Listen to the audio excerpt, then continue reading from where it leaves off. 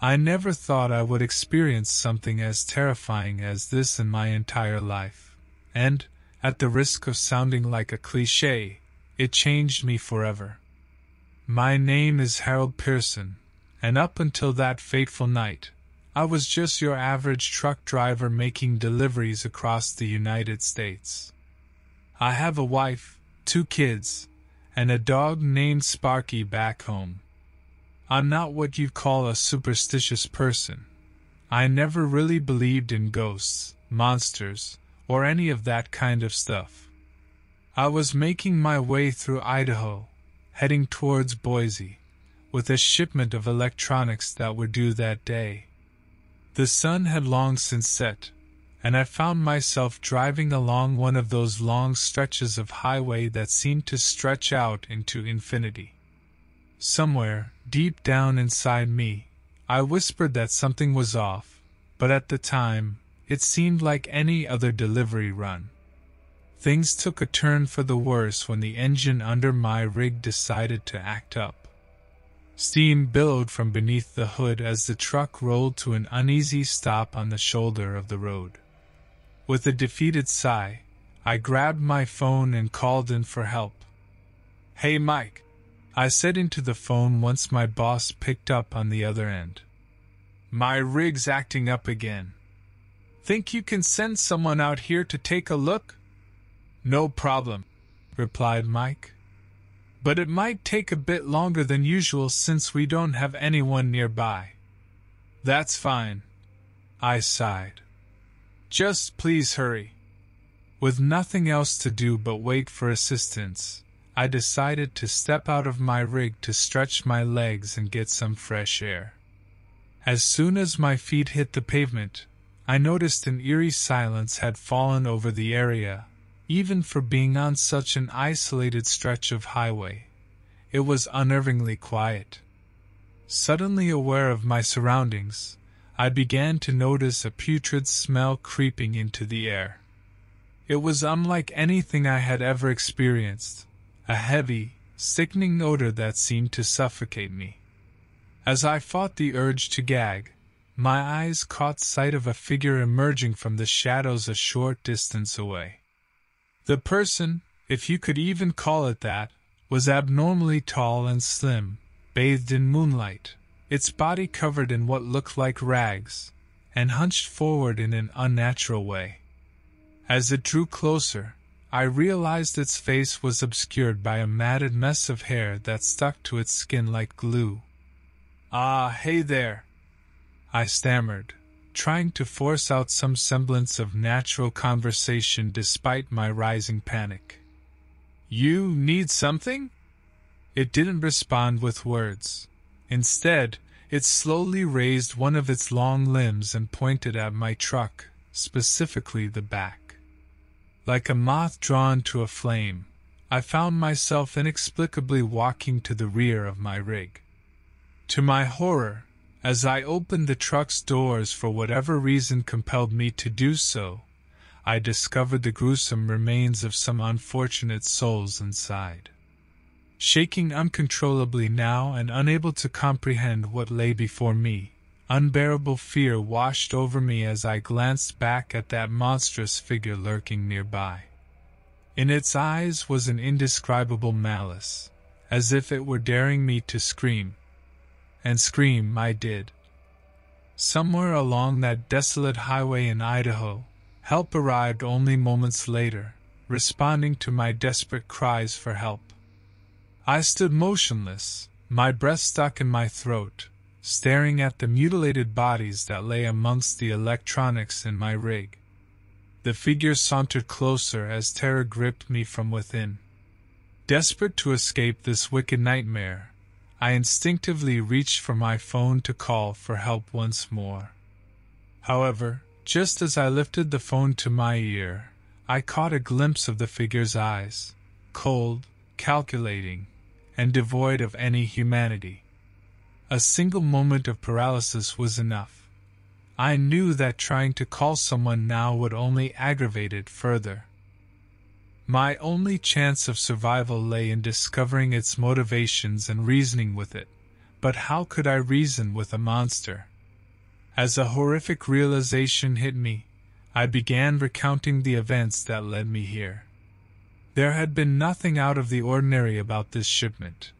It was merely electronics bound for Boise. These dead people must have had something valuable that attracted the attention of this monstrous being. After all, it didn't seem interested in harming me yet. It focused solely on what lay inside the rig. Gathering up whatever courage still remained inside me, I mustered up all my strength and stood tall. What do you want? I addressed the figure tremblingly. The entity didn't answer directly. Instead, it moved toward one of the lifeless bodies and removed something from its grasp a tiny USB drive gleaming in the moonlight. Suddenly, Shuffling footsteps echoed down the road as a man approached us warily. Hey! Are you guys okay? he yelled from afar. The figure flinched at his voice and retreated into the shadows. In that fleeting moment, as if guided by some divine luck, I recognized the tattoo on the figure's wrist, one that belonged to a notorious criminal named Randall Jameson who had been on local law enforcement's radar for months. My God! whispered the stranger, observing the horrific scene as he grew closer. We need to call the police right now. They won't get here in time. I admitted, scared for our lives. He's still nearby, and he's dangerous. The man nodded, and without wasting any time, he dashed back to his car to retrieve a shotgun he kept for protection. Together, we returned to my rig. I felt a smidge of confidence with the armed stranger by my side. As we cautiously scanned the area, we discovered a trail of blood leading away from the truck toward an abandoned barn. We followed it cautiously, ready for whatever might emerge from beyond that dilapidated structure and yelled out a warning before entering. We know who you are, Randall! I shouted confidently, hoping to unnerve him. Give up now! There's nowhere left for you to hide. In response, we heard panicked footfalls making their way toward the rear of the barn. I braced myself for what lurked ahead a deadly confrontation with Randall Jameson himself. Just as Randall emerged from hiding in the open space beyond the barn, the stranger fired his shotgun at him. The shot narrowly missed its target. Visibly shaken and realizing that we were now determined adversaries, Randall vanished into the night. The stranger and I exchanged glances before sighing in relief. Our lives had been spared tonight. But even as we called the police and reported our harrowing experience, I couldn't shake off a feeling of unease. I knew that this wasn't over. Randall would return one day to claim what he believed was rightfully his. We had managed to escape his sinister grasp for now, but who knew what terrifying methods he would resort to next time? As I drove away from that desolate highway in Idaho, leaving behind a trail of death and terror in that place I hoped to never see again. Somewhere deep within the bowels of darkness, Randall Jameson continued to lurk unseen, biding his time, waiting for the perfect moment to strike again.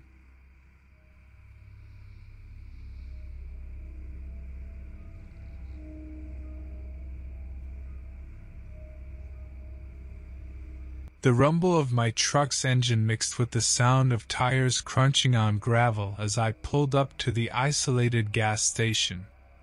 My name's Tobias Wayne, and I've been a truck driver for the last 15 years. It was a lonely job, but it paid well, and I had some interesting stopovers at times. I wiped the sweat from my brow and stepped out into the deserted parking lot. Stretching my sore muscles with a heavy sigh, I decided to grab something to eat and take a break before hitting the road again. The gas station was nestled in a dense forest in Wisconsin, and as beautiful as it was, something seemed off about this place. As I turned to walk towards the gas station store, I noticed a teenager sitting on a bench outside. His expression was lifeless, almost disinterested, as he chewed on his hamburger.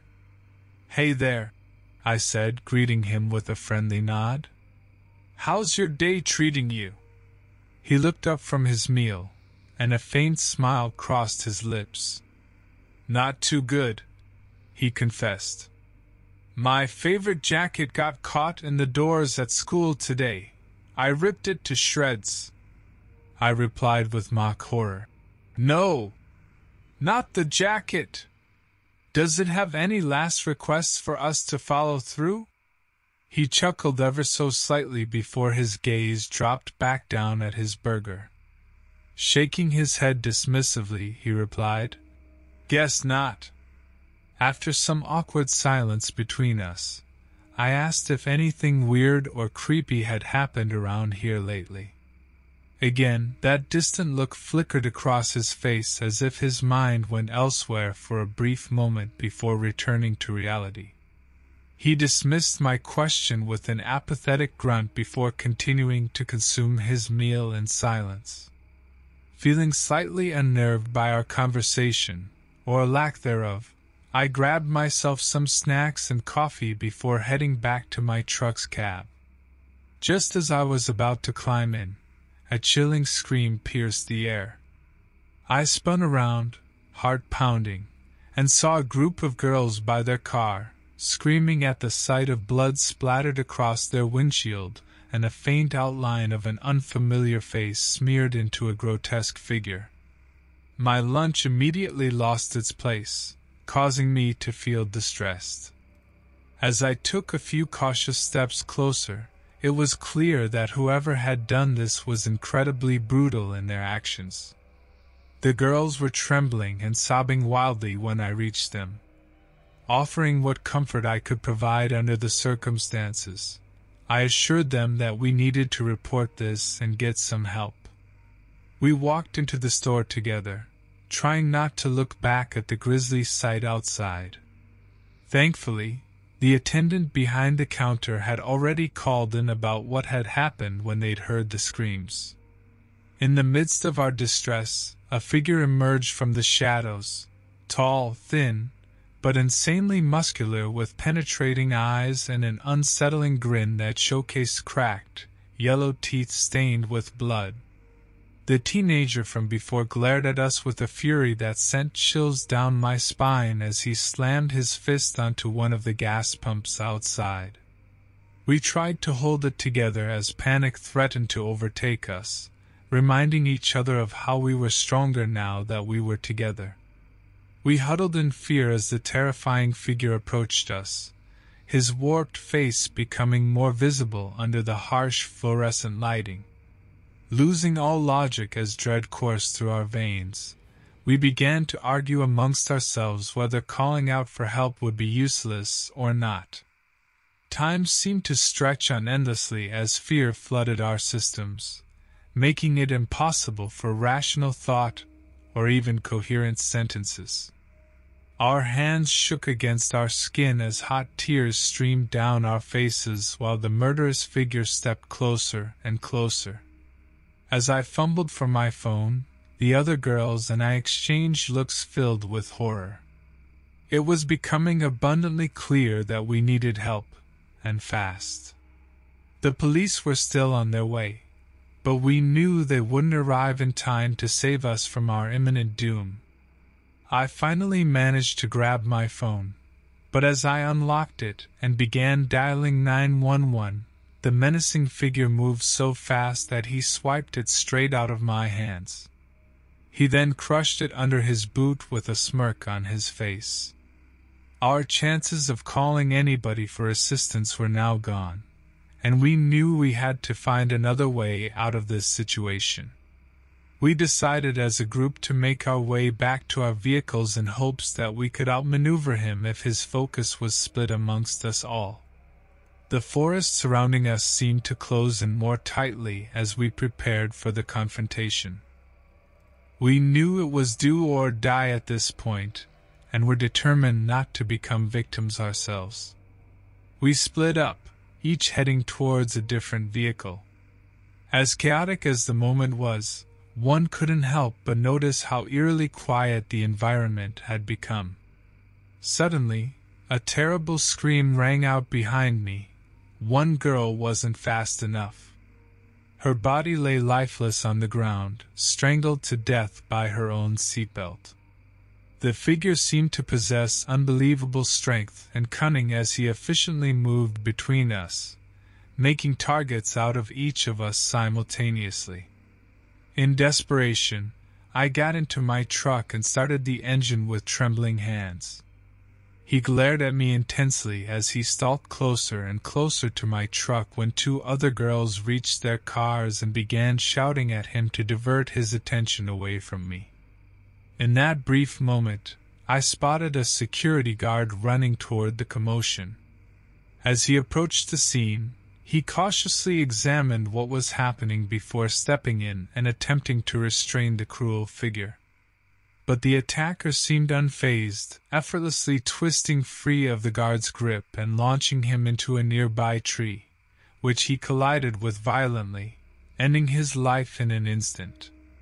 The attacker then turned his attention back to us, his determination strengthened by the failed intervention. As he neared my truck, I noticed a name tag attached to his blood-stained shirt. Malcolm, he must have been an employee here at one point. Perhaps this place had driven him to madness. He pulled a previously hidden knife from his belt, its scintillating edge gleaming under the dim lights. It was time to act. In a final act of self preservation, I slammed on the gas pedal and aimed my truck straight at Malcolm, hoping that even if he dodged, it would buy me enough time to escape. The sound of tires screeching against the pavement echoed through the night as I drove off, my heart pounding in my chest. In my rearview mirror, I saw the nightmarish figure of Malcolm leaping out of my truck's path with incredible agility and landing back on his feet. The demented grin that spread across his face as he watched me drive away was something I'd never forget. It was as though he got some perverse enjoyment from our terror. As I sped down the road towards the distant promise of safety, those left behind at the gas station haunted my thoughts.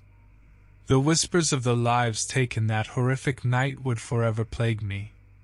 I could only hope that this wasn't an ending but rather just a piece in Malcolm's terror filled puzzle, and that someday someone would figure out how to stop him for good.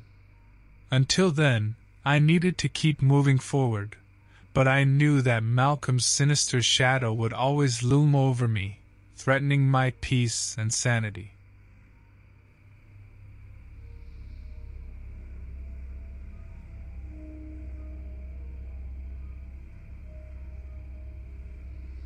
When I got the call, I knew it was my brother, Clovis Whitley. He was in trouble again. It seemed he had a knack for finding himself in sticky situations. As a seasoned truck driver navigating the vast networks of roads across the United States, I'd had my fair share of bizarre encounters, but nothing could have prepared me for what awaited me in lower Manhattan. I arrived at the specified location, an inconspicuous alleyway between two gritty brick buildings. The smell was that of greasy food and diesel fumes. I looked around hesitantly before making my way down the narrow path. Hey! Clovis! I called out, trying to keep the worry out of my voice. My words echoed off the walls. I heard a snicker from a nearby trash can and tensed up, my palms beginning to sweat. It's about time, Orson! There he stood, Clovis in all his disheveled glory. He wore a faded plaid shirt speckled with blood, half tucked into equally dirty jeans. His face was streaked with grime and sweat. All right, he sighed dramatically. I need your help. What happened? I asked, trying to sound calm as my anxiety grew. Clovis proceeded to tell me about an ominous looking man he'd seen lurking around the neighborhood for weeks now. While this mysterious figure gave him an uneasy feeling, he couldn't put his finger on exactly why. This part of New York City had plenty of shady characters drifting through. It all changed when a local delivery man vanished without a trace. At first dismissed as accidental or self inflicted harm, that was until a shredded uniform and ominous puddles of blood appeared in an abandoned subway tunnel nearby. The revelation sent shivers down my spine, and suddenly I understood why Clovis had reached out to me specifically. Someone needed to step in and make sense of this escalating nightmare. It's like he's toying with us. Clovis muttered under his breath, echoing my thoughts. Mutilating the evidence. Our conversation was cut short by the faint sound of footsteps echoing from the depths of the alley. We exchanged nervous glances before ducking behind a nearby dumpster.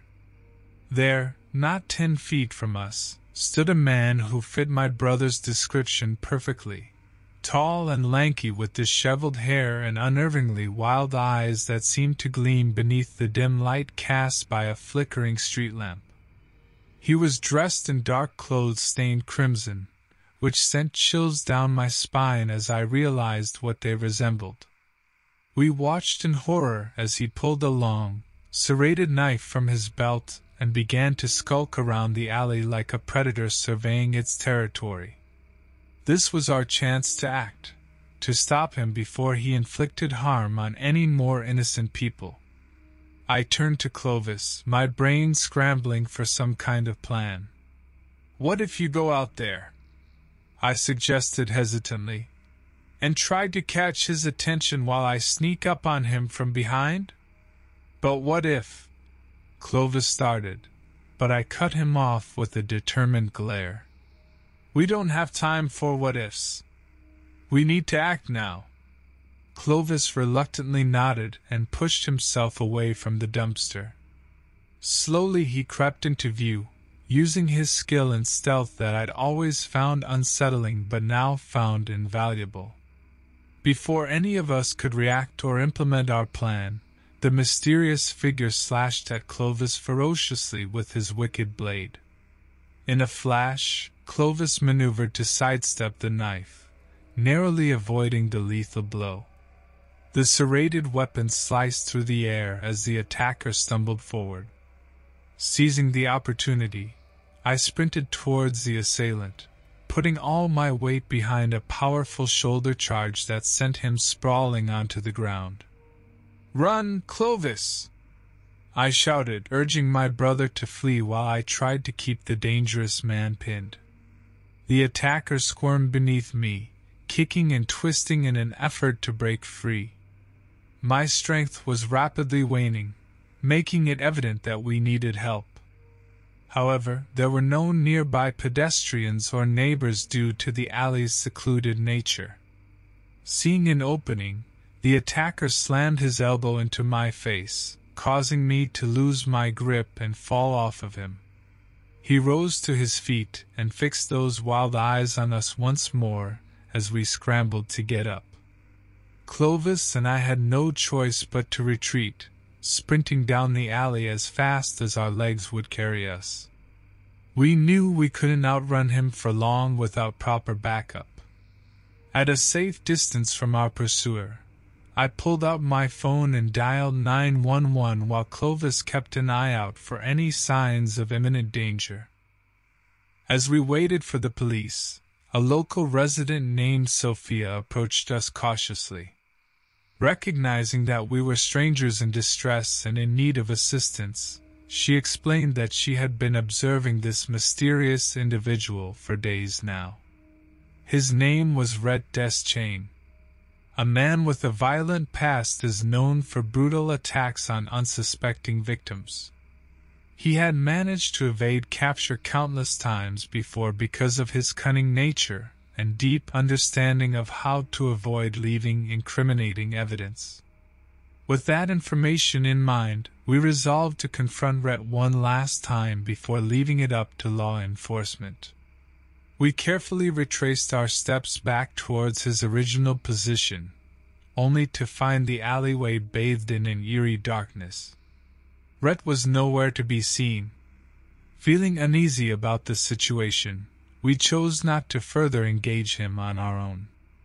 We relayed all the information we gathered to the police and informed them of Rhett's horrifying actions. As we stood there, a blood curdling scream echoed from a neighboring alleyway, a horrifying reminder of Rhett's ability to strike fear into us. Despite our best efforts and intentions to end his terror, he had managed yet again to slip through our fingers. Knowing Rhett would likely remain a menacing presence lurking in the shadows of lower Manhattan, we felt a sense of defeat that would linger indefinitely. With each passing day, we couldn't help but think about his victims, forever scarred by his brutal attacks. Though Rhett continued his twisted game of cat and mouse with authorities, life awaited us outside this grisly tale. We held on to a small glimmer of hope that one day he would finally meet his match and be brought to justice for the pain and anguish he inflicted upon so many innocent people. But until that day came, the chilling thought of Rhett Deschain's presence would haunt the streets of lower Manhattan, an unyielding reminder that danger could strike at any moment for those who stumbled into his path.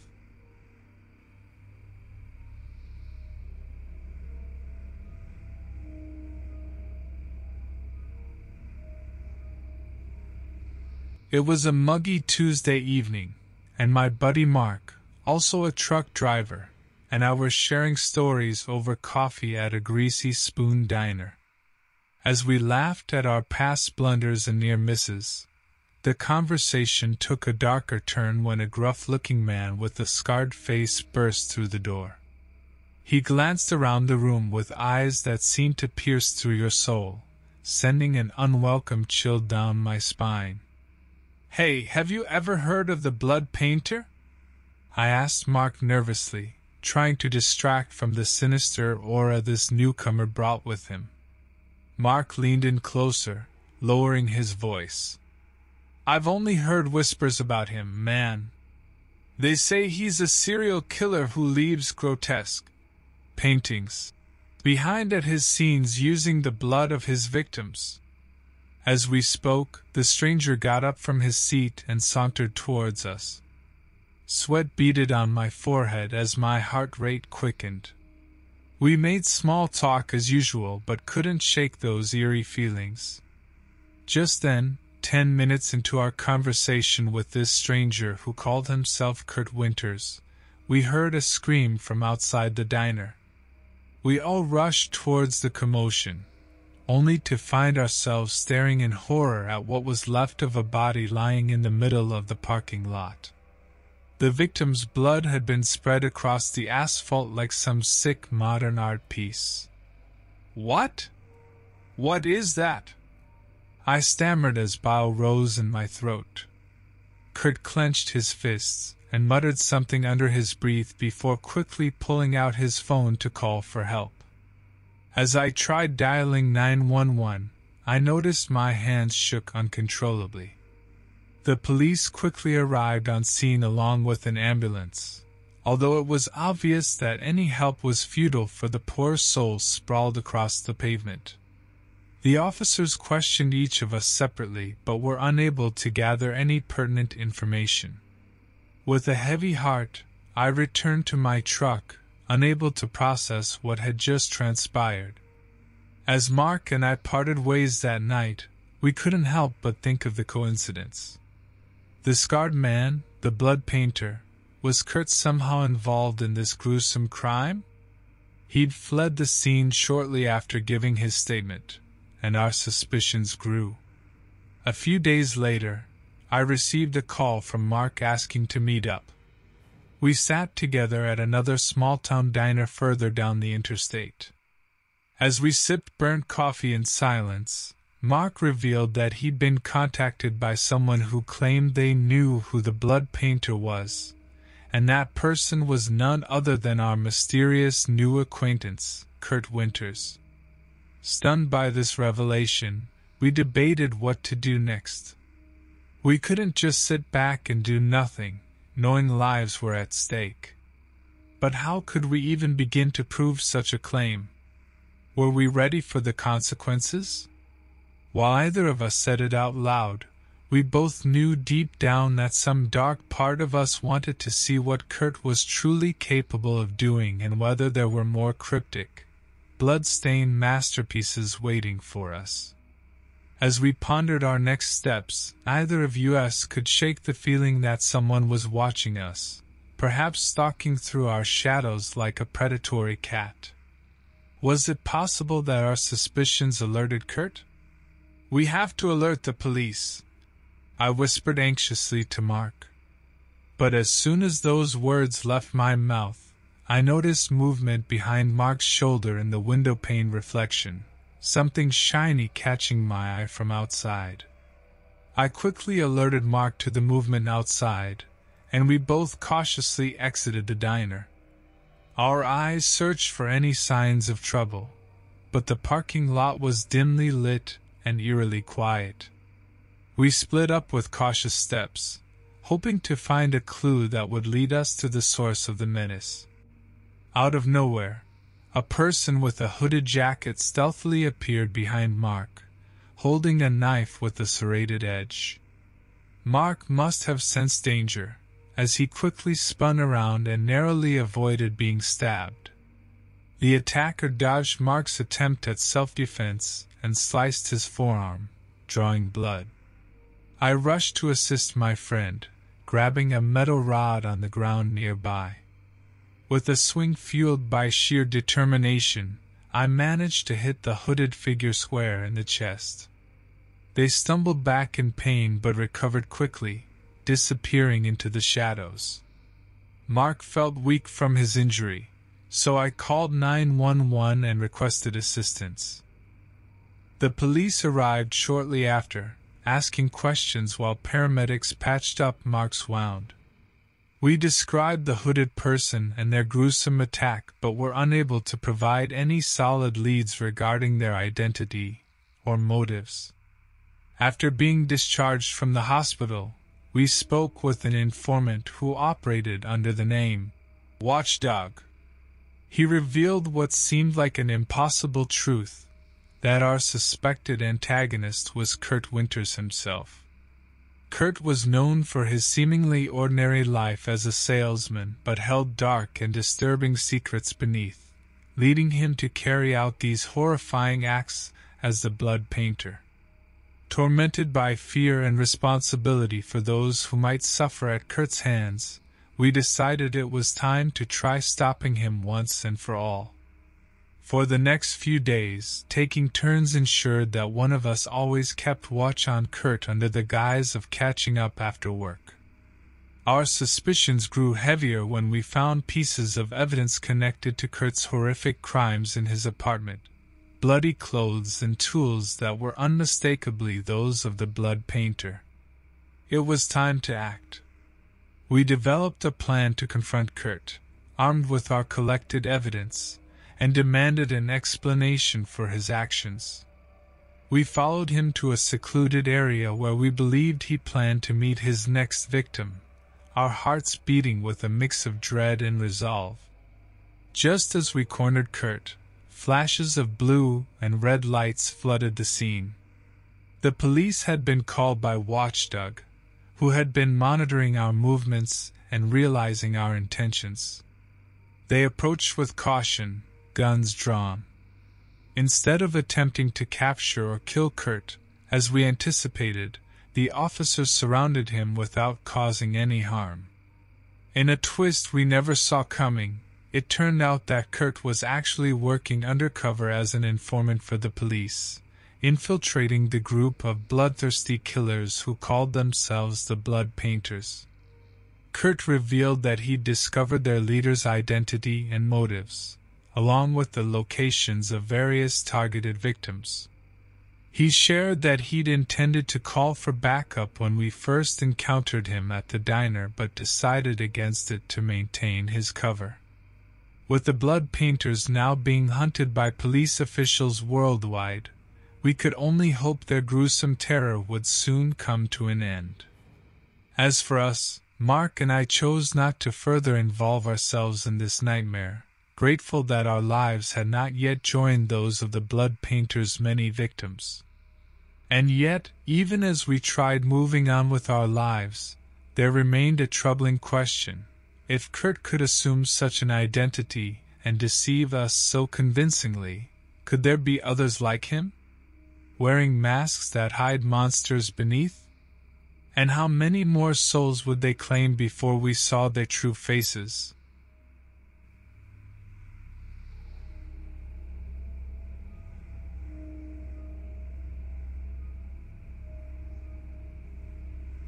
I've been driving trucks for the last 18 years.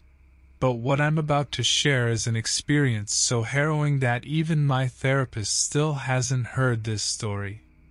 It was a rather nondescript evening as I steered my big rig into Lebanon, Oregon. The dull skies mirrored my monotonous yet dependable routine. My truck's radio crackled with the sound of steel guitar from an old country song as if setting the stage for the terror ahead. The next pickup point led me down a less traveled road alongside a dense forest. My instincts told me something was off, but, like most seasoned truckers, I brushed it off as paranoia and kept driving. A large pothole jolted me back to reality. As I struggled to regain control of the rig, I noticed a car parked haphazardly off the side of the road, its blinkers flashing desperately. Deducing there might be someone in trouble, I decided to help out, a decision I'd come to regret. Approaching cautiously, I peered into the car's window but found no one inside. Then suddenly, a blood curdling scream pierced through the silence. My heart thudded in my chest as my adrenaline surged. This is no place to be alone. Heavy breathing emerged from behind me. Right at that moment, an ice cold hand clamped tightly around my wrist. My body froze in terror, and before I could react or call for help, another chilling scream echoed through the woods. I yanked my arm free and spun around only to face pure, unadulterated horror standing before me, inexplicably human yet so wrong on every level. He had bulging eyes that stared right through me and wore a mask of grotesque flesh sewn haphazardly together. His morbid appearance struck fear deep into my soul. A sick laugh bubbled up from the abomination as he reached for me again this time with blood soaked fingers clutching a dreadful tool meant for unspeakable acts. I knew I couldn't outrun this monster, but my survival instincts spurred me to resist. With a swift kick, I caught him off guard and disarmed him. The agony on his twisted face only lasted a moment. I braced myself for retaliation, but he slipped away into the shadows of the sinister woods taking the heart wrenching screams with him. A maniacal laugh echoed throughout the night, and in that moment, I knew the roadside horror wouldn't be leaving me any time soon. Wounded and overwhelmed with terror, I limped back to my idling truck. I had no choice but to finish my route and leave this grisly nightmare behind. Every nerve in my body screamed to call for help. However, Years on the road had taught me that help almost never comes fast enough.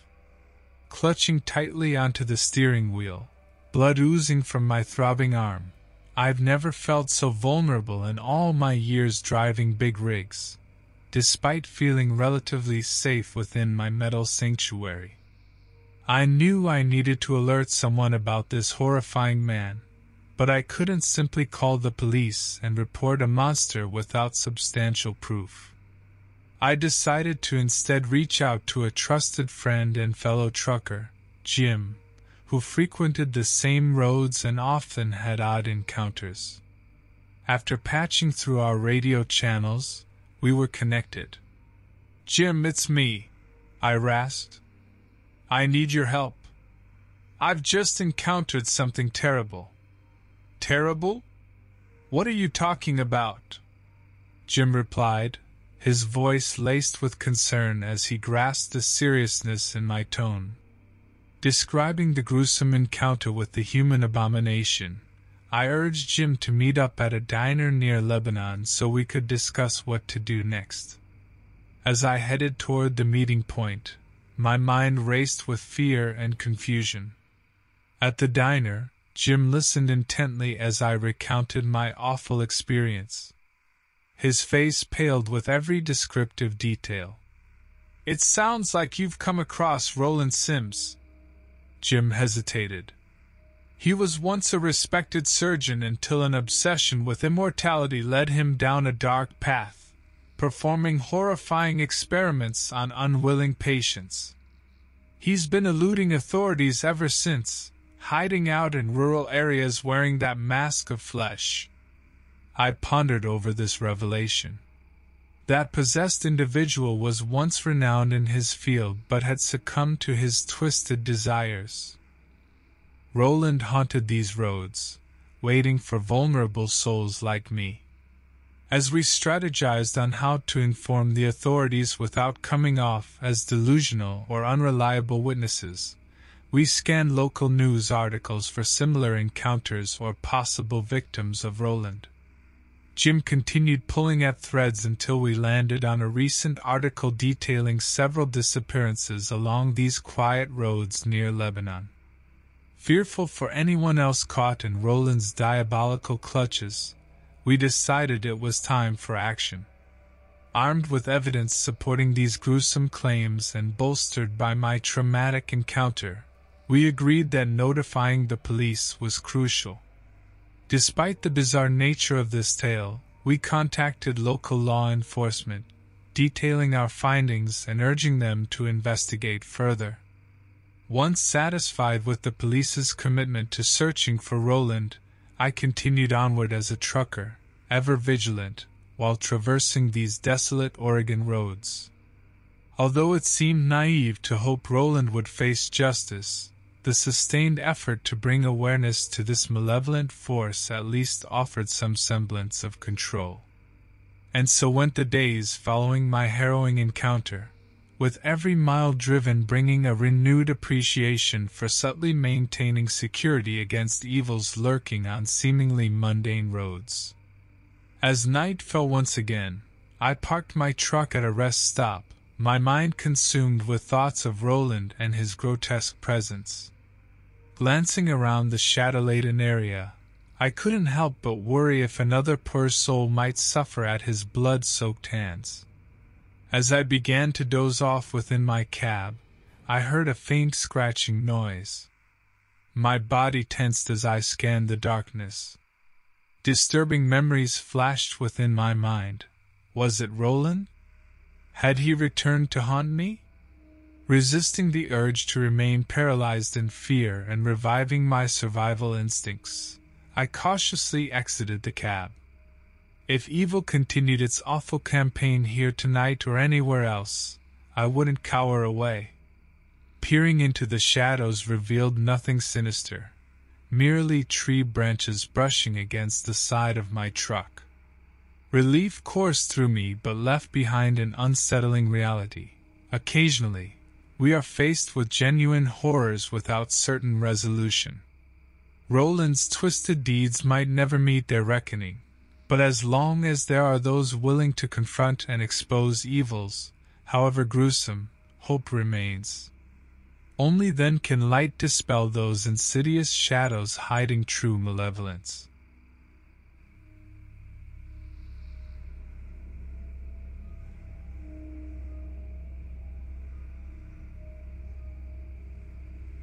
I was cruising down I 40 in North Carolina, the hum of my truck singing along with the radio. My name is Daryl Reinhardt, and I've been a truck driver for about 20 years now. It's not the most glamorous job, but it's provided a decent living for my family. I like to joke that in an alternate universe, I might have been a stand up comedian, but in this one, I'm just a stand up guy always ready with a wisecrack or two. It had been an uneventful trip so far, delivering goods from Knoxville, Tennessee, to Raleigh, North Carolina.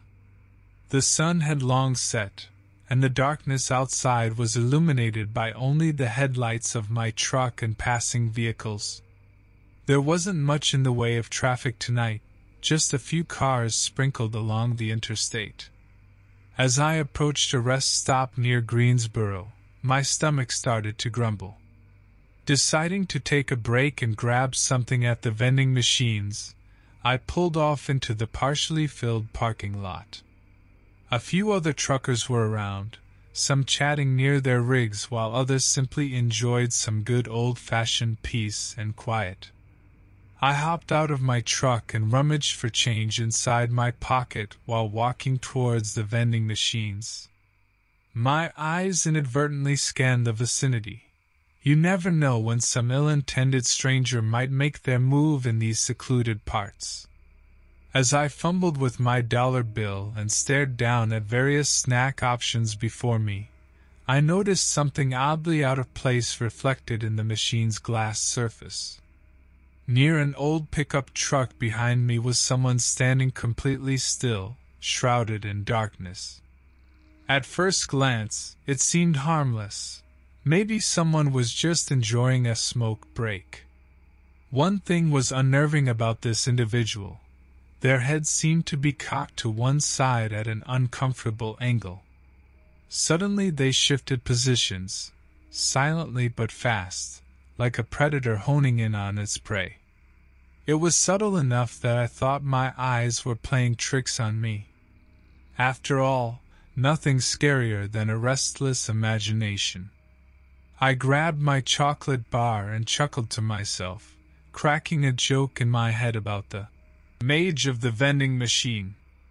But as I turned around and started heading back to my truck, I could sense this mysterious person following me. I glanced back nervously, trying to make out any features or intentions behind their shadowy form. All I could discern was that they were dressed in some sort of long black coat, with their chins barely illuminated by the dim parking lot lights. Picking up my pace back to my truck, the unnerving presence continued its pursuit, maintaining an eerily constant distance just outside my peripheral vision. My nerves frayed further with every step. Questions and doubts multiplied in my head as I considered whether it would be better to confront this person or try to avoid them altogether. As I approached my truck cab door, I broke into a jog and reached for the handle. Instead of gripping cold metal, however, my fingers found themselves wrapped around another hand. The sensation sent shivers through my body. It was damp and veiny and completely unexpected. In that split second before panic settled in, my eyes tracked up the arm connected to the hand and into the beady eyes of the black coated figure. Silently, we remained locked in this macabre greeting for what felt like an eternity. As soon as I could react, I yanked my hand away from the stranger's grip and took several steps back, trying to maintain distance. My mind raced, struggling to make sense of the situation. The mysterious stranger didn't move. Their head was still tilted at an unnatural angle, and their face was hidden in the shadows. My initial instinct was to call for help, but the nearest truckers were too far away to hear a shout, and it would be too dangerous to turn my back on this person and run toward them. Instead, I cautiously fumbled for my phone, ready to call 911 if needed. Just as I was about to make the call, another trucker approached us, seemingly unaware of the tense confrontation unfolding before him. He walked up to the stranger and spoke with familiarity. Hey there, Mark, he said jokingly. I haven't seen you around in a while. How've you been? The stranger, now identified as Mark, straightened his head, and replied in a raspy voice Been busy. His face remained hidden by shadows.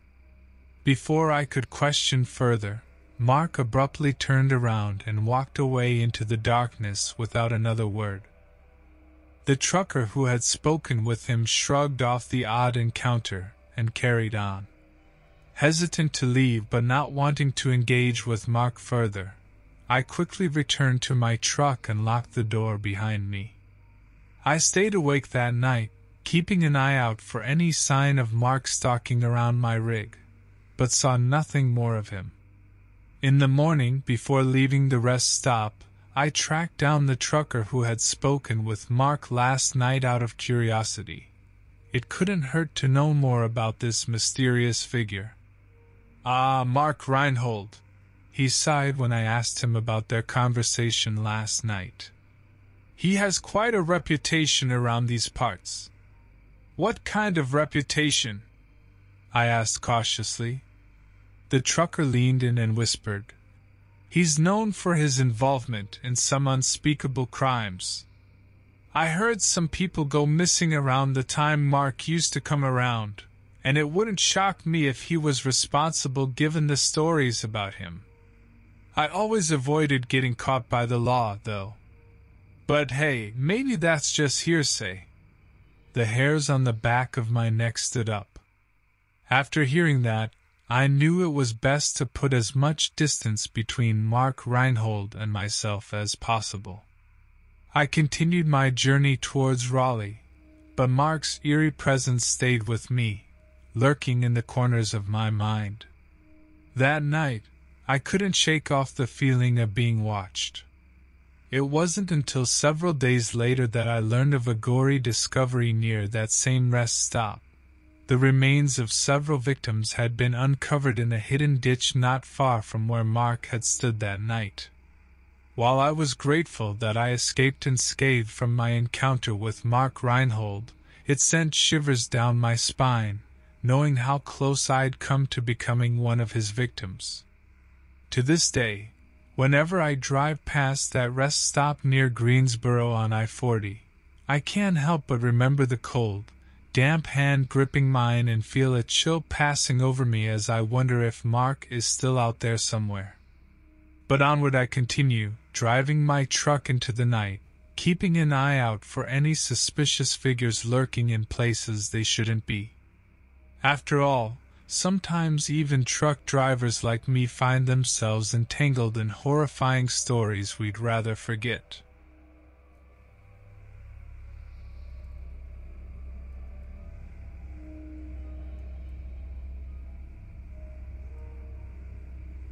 Feeling drained after another grueling day of trucking, I grumbled about the endless hours behind the wheel. My name is Nolan Carmichael, and I'm a mother trucker, quite literally. Actually, kids these days call me Trucker Dad, whatever that means. I pulled my beaten up rig into the Hayesville depot, feeling the comforting weight of my wallet holding exactly nine extra unsanctioned dollars earned on some off the books cargo. As I parked in my usual spot beneath a flickering streetlight and locked up my rig, Harry, an old nameless dog who'd come to see me off every night for years now, ambled over with his tail wagging. Hey Harry, good to see you, old boy, I said, wiping my greasy hands on my dirt streaked jeans.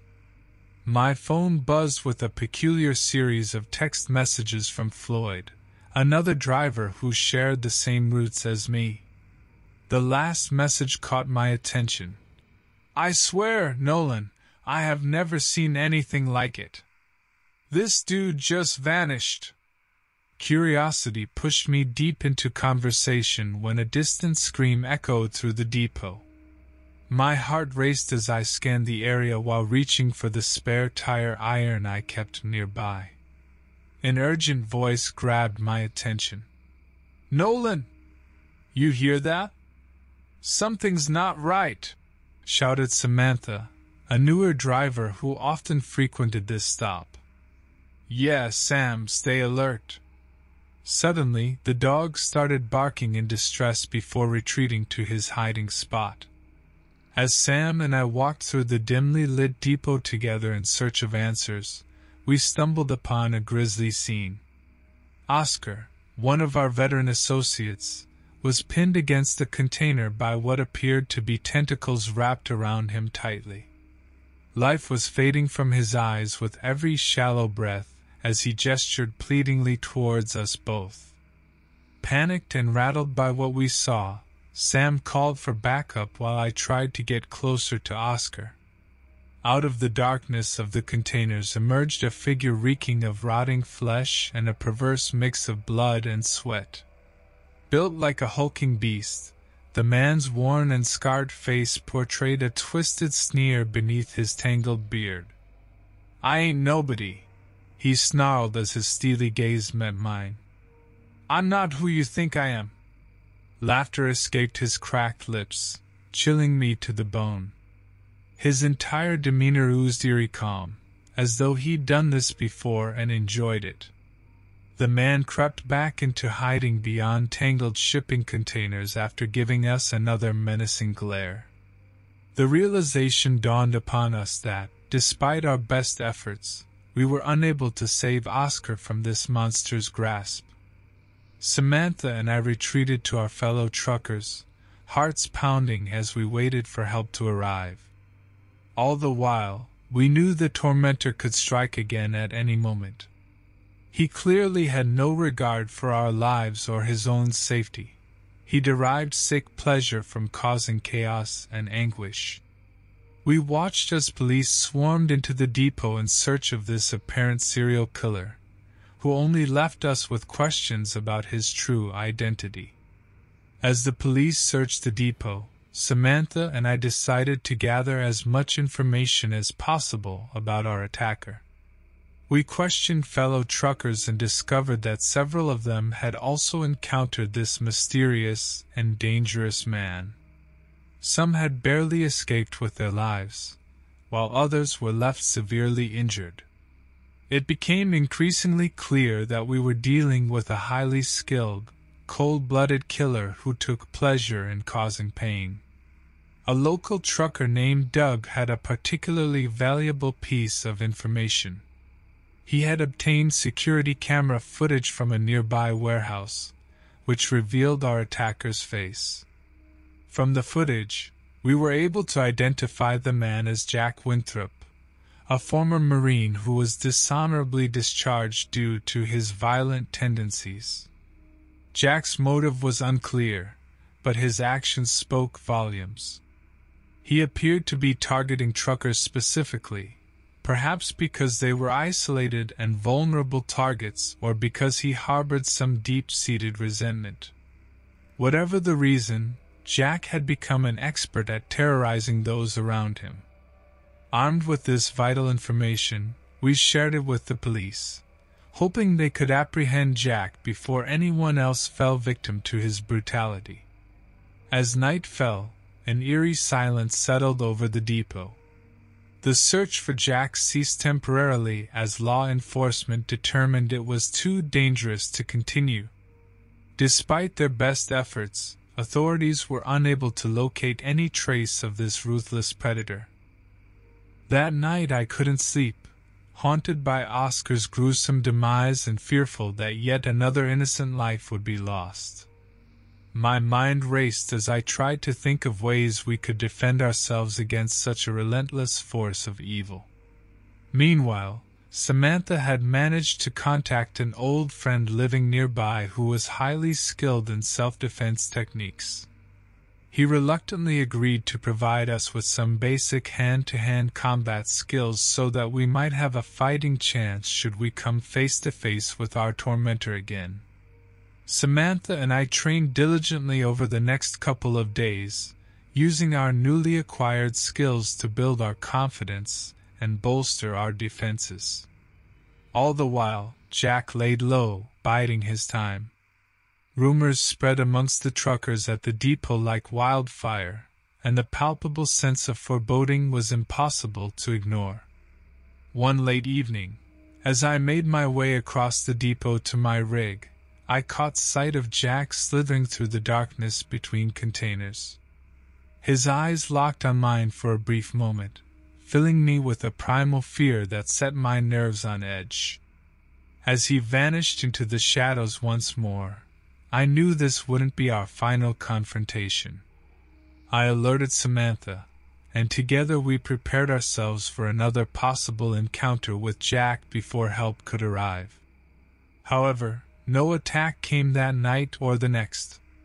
In fact, days went by without any sightings or indications of Jack's presence. Instead, an uneasy quiet settled over the depot. Though it provided some relief from the constant tension we had been living under, we couldn't shake the sense that Jack was still nearby. Those who had witnessed savage attacks or lost friends became more cautious and vigilant, focusing intently on their surroundings. Just when we began to think Jack might never resurface, another blood curdling scream shattered our tentative peace in the early hours of a new dawn.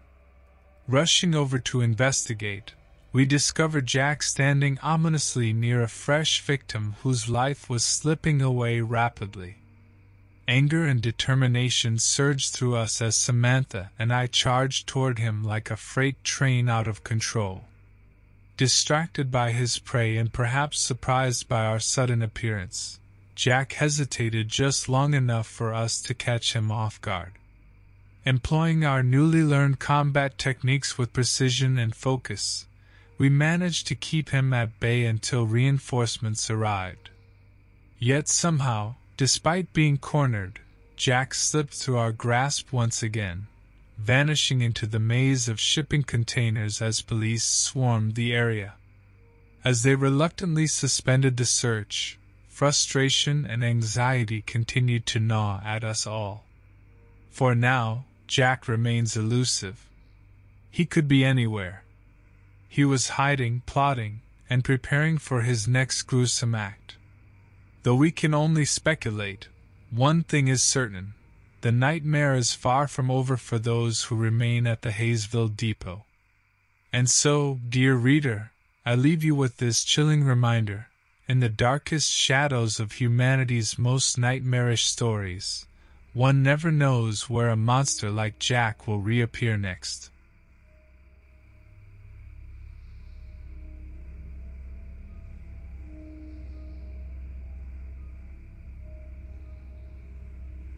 My name is Jasper O'Malley, and I'm a truck driver by trade. It is not the most glamorous job in the world, but it pays the bills. People often joke about how easy driving trucks must be, but let me tell you, it's not all sunshine and rainbows when you're behind the wheel of an 18 wheeler. Anyway, enough with the small talk. You're here for the story. It was a dark and stormy night. Sorry, I couldn't resist. But really, it was a pretty average Tuesday evening. I had been doing my usual route from Nevada to Colorado when I made a pit stop at this little gas station near Moab, Utah. The place didn't seem sketchy or anything and had great reviews, so I figured it would be a decent spot to refuel and grab some snacks. While browsing through the shelves stocked with chips and candy bars, my eyes suddenly caught something. No, not something on a shelf. It was a person, or rather their reflection in the store window.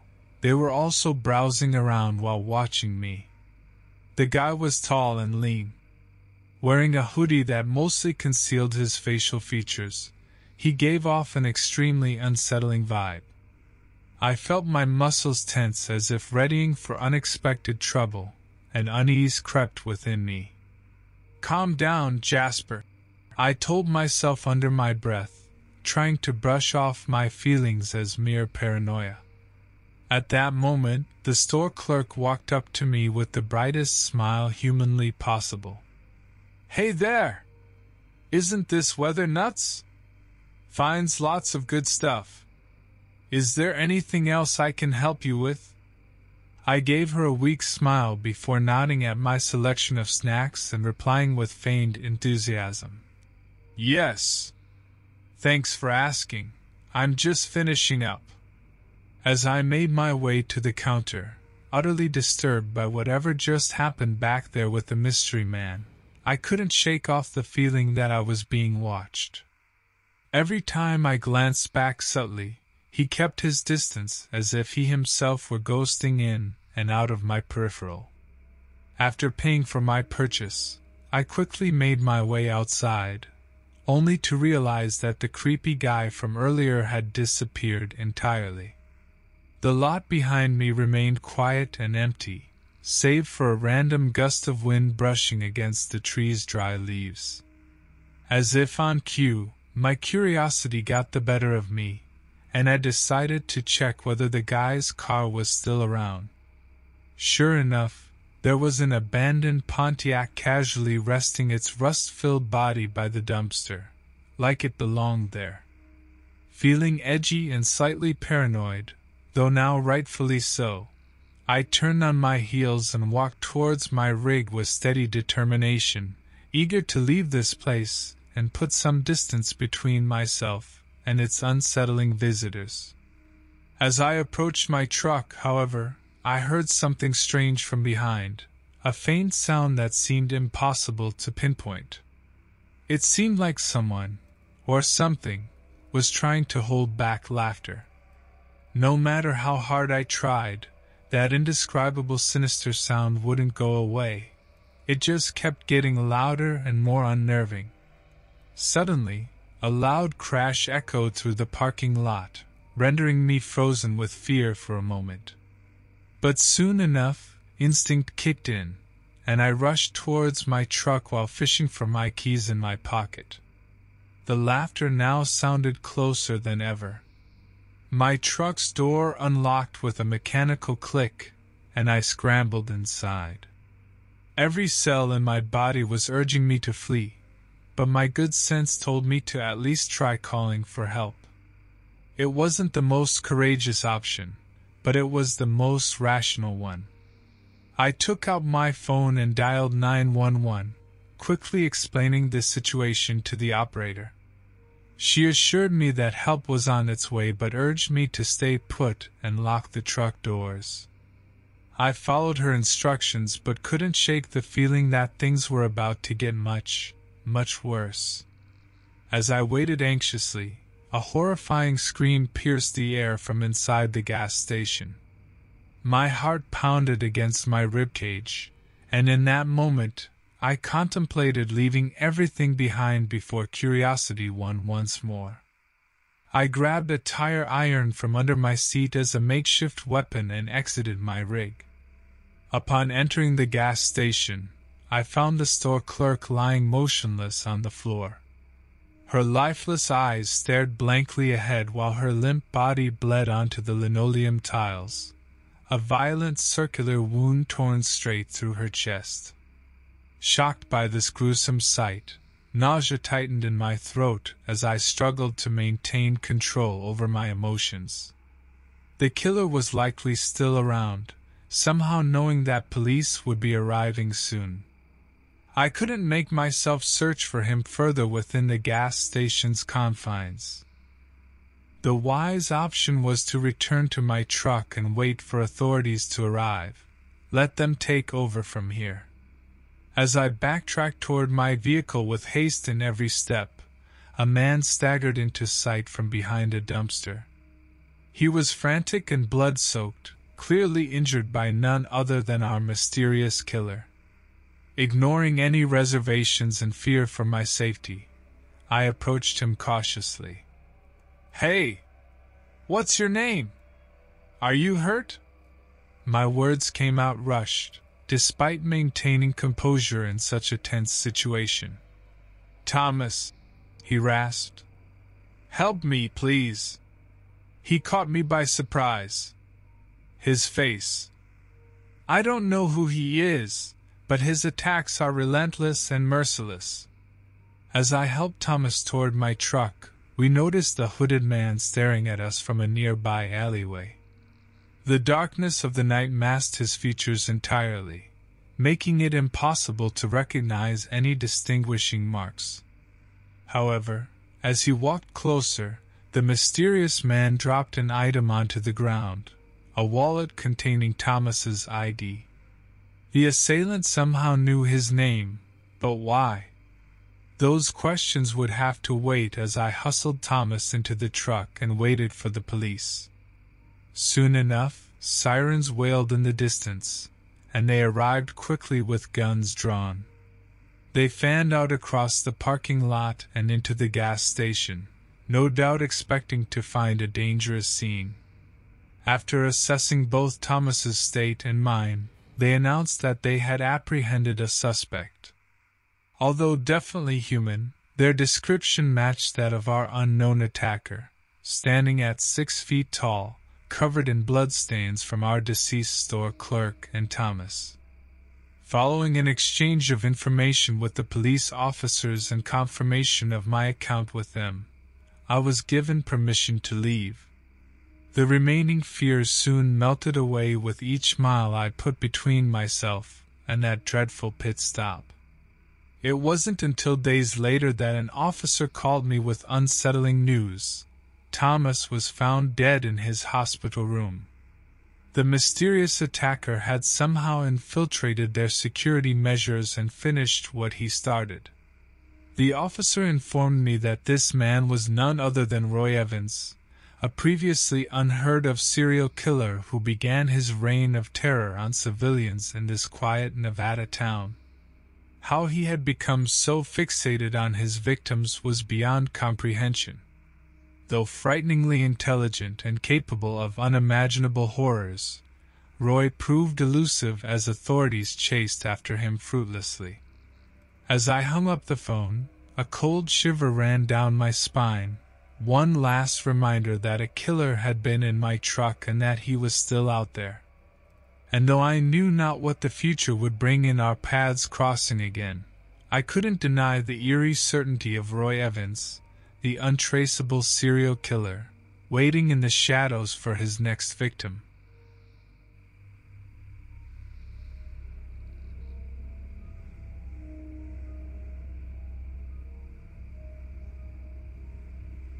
My name is Clayton Knox, and I'm a truck driver. On the road, you see a lot of strange things, but nothing prepared me for the incident that occurred in a small town in Mississippi. Most of my friends think my job is boring, but I always joke that at least I get to enjoy the beautiful landscapes while they're stuck in their dull cubicles. One day, as I was making a run through Mississippi, I pulled over into a rest stop to stretch my legs and grab a bite to eat. The diner at the rest stop was filled with locals, creating a lively atmosphere. My meal was delightful. Nothing beats southern cuisine. After paying my bill, I headed outside and saw an idling car at the edge of the parking lot. Rolling down my window slightly to enjoy the fresh air, I spotted an off duty cop sitting in his cruiser nearby. He looked worried and intense. Hey, I called out jokingly with a friendly wave. Are you on the lookout for some local troublemakers? He hesitated before giving me a weak smile. No, just trying to relax after working overtime. I shrugged it off and got back behind the wheel of my truck. Suddenly, approaching headlights caught my attention in my rearview mirror. Just an ordinary car driving past me at full speed. Nothing unusual, right? Except the car didn't continue onward but abruptly stopped near me. The driver's side door burst open, revealing a disheveled man who lunged towards me with wild eyes and aggressive strides. This had escalated far too quickly for my liking. The man yanked at my truck's door handle with brute force. Thinking fast, I put all my weight against it. Fortunately, having an obsession with locking doors, which always annoyed my wife, saved me this time. Out of nowhere, a gunshot rang through the air.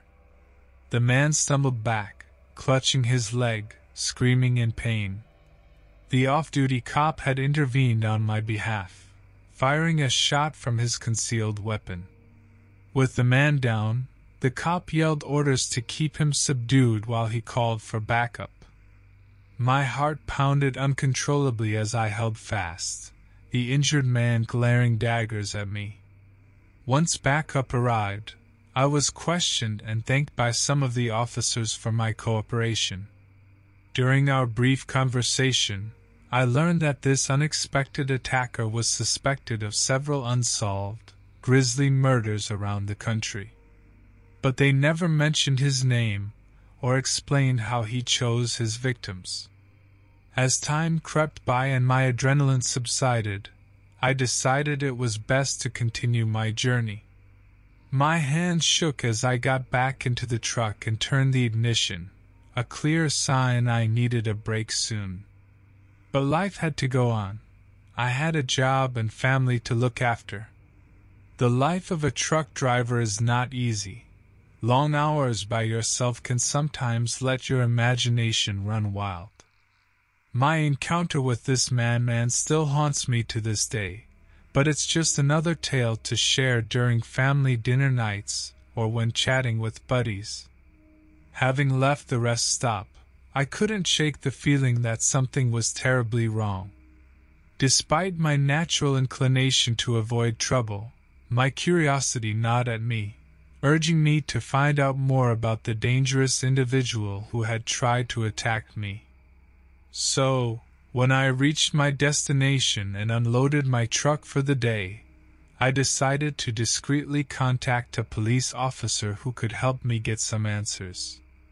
I dialed the number of a detective I knew named Joe Wheeler, and after exchanging pleasantries, I described my encounter in Mississippi.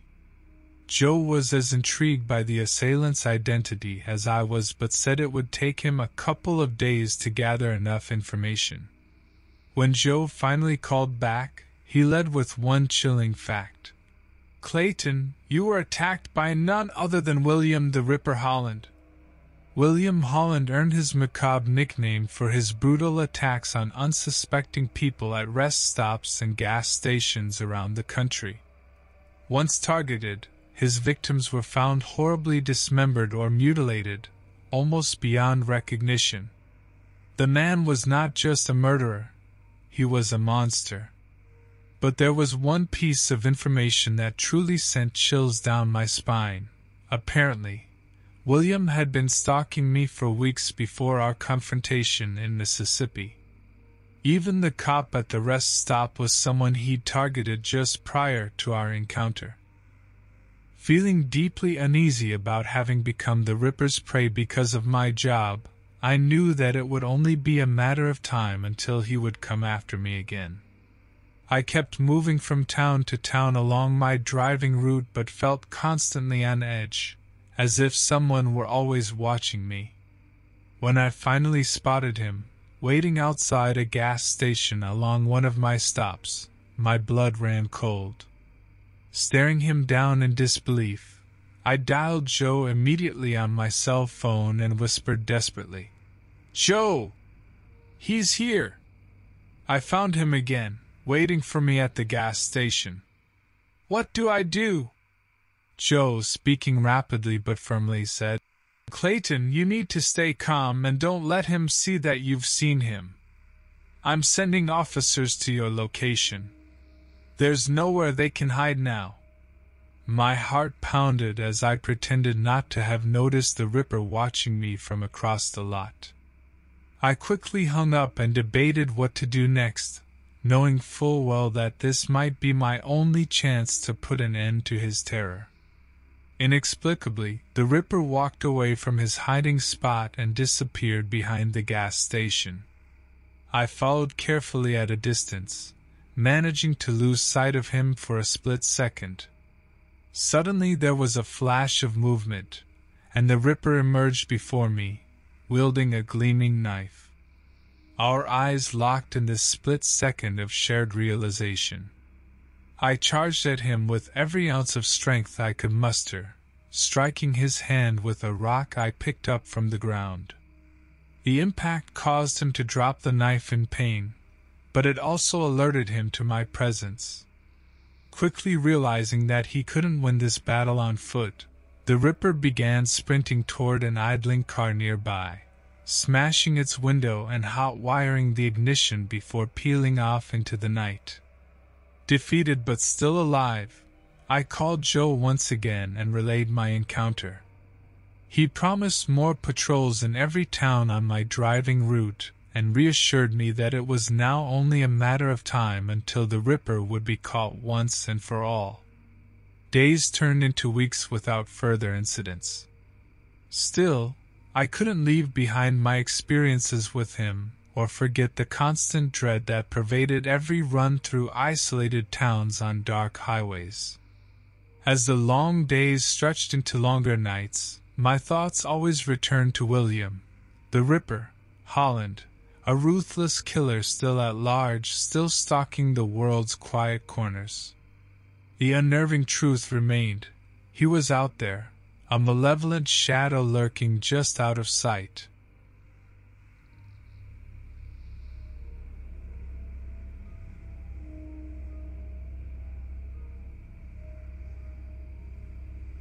My name is Simon Carter and if you told me I'd be belly deep in terror during my truck driving route, I would have laughed it off like a bad joke. It just goes to show that life truly takes unexpected turns. I worked the late shift that night, delivering furniture to a warehouse outside of Dayton, Ohio. The local radio station played a mix of classic rock and oldies, which made the long drives much more bearable. As I drove along Route 48, my headlights illuminated something disturbing just off the road. There were peculiar markings on a nearby tree trunk, with what appeared to be blood smeared across the bark. It looked as if someone had attempted to write some message or symbol that was getting interrupted every other stroke. My gut was telling me this wasn't some local kid's idea of a prank. It sent a chill up my spine. At least they didn't try spelling Redrum? How cliche would that be? I muttered aloud in an attempt to bring some levity to the situation. I continued on my journey, trying not to dwell on the unsettling sight. As I was closing in on my destination, an industrial complex near the outskirts of Dayton, I came across what looked like an abandoned car by the side of the road. Desperate pleas for help rang out from inside the vehicle. My heart raced as I checked on the stranded motorist, who turned out to be Anna Thompson, an offbeat college student with an interest in geocaching and impressionist painting. Her car had broken down, and she had no cell reception in this remote area. Hey there! Do you need a hand? I asked as I approached her vehicle cautiously. What took you so long? Anna half jokingly exclaimed in relief. It wasn't long before Anna was in my truck's passenger seat while we searched for any sign of a mechanic shop. We exchanged friendly banter for a while, laughing about shared pet peeves and the absurdity of pineapple pizza. Eventually, our conversation took a dark turn. I saw something back on Route 48 that made my skin crawl. I confided. I can't shake the feeling that we're not alone out here. Anna confessed to a similar nagging sense of dread and unease. Up ahead, the road twisted through a claustrophobic tunnel. Anna stiffened in her seat as we entered the darkness. It felt like an all consuming void that threatened to consume whatever hope resided inside us. As we made our way out of the tunnel, a figure stood ominously at the exit. It appeared to be covered head to toe in dark clothing and had unnervingly elongated limbs. An unsettling smile stretched wide across its face, revealing rows of sharp teeth. I slammed on the brakes, barely managing to stop mere inches from the figure. It merely continued smiling as it took slow and deliberate steps toward my truck. The atmosphere in the truck shifted from casual camaraderie to sheer primal fear. With trembling hands, I locked all doors and rolled up any open windows. What is that thing? Anna cried desperately as we both stared, paralyzed by its deliberate approach. Stay in the car! I instructed urgently before grabbing a tire iron from under my seat. The figure seemed unfazed by my defensive stance as it continued advancing toward my truck. As it raised one of its abnormally long arms, potential weapons seemingly materialized into its grasp a rusty knife, broken beer bottles. The figure's grotesque grin widened with each item appearing in hand. As the figure approached, brandishing its bizarre array of makeshift weapons, I couldn't bring myself to call for help. Doing so would risk drawing more innocent people into this nightmare scenario. I gripped the tire iron tightly in my hand, trying to maintain a sense of control and courage in an overwhelming situation. What do you want? I shouted at the figure. I knew it wouldn't respond, but maybe it could at least understand my defiance.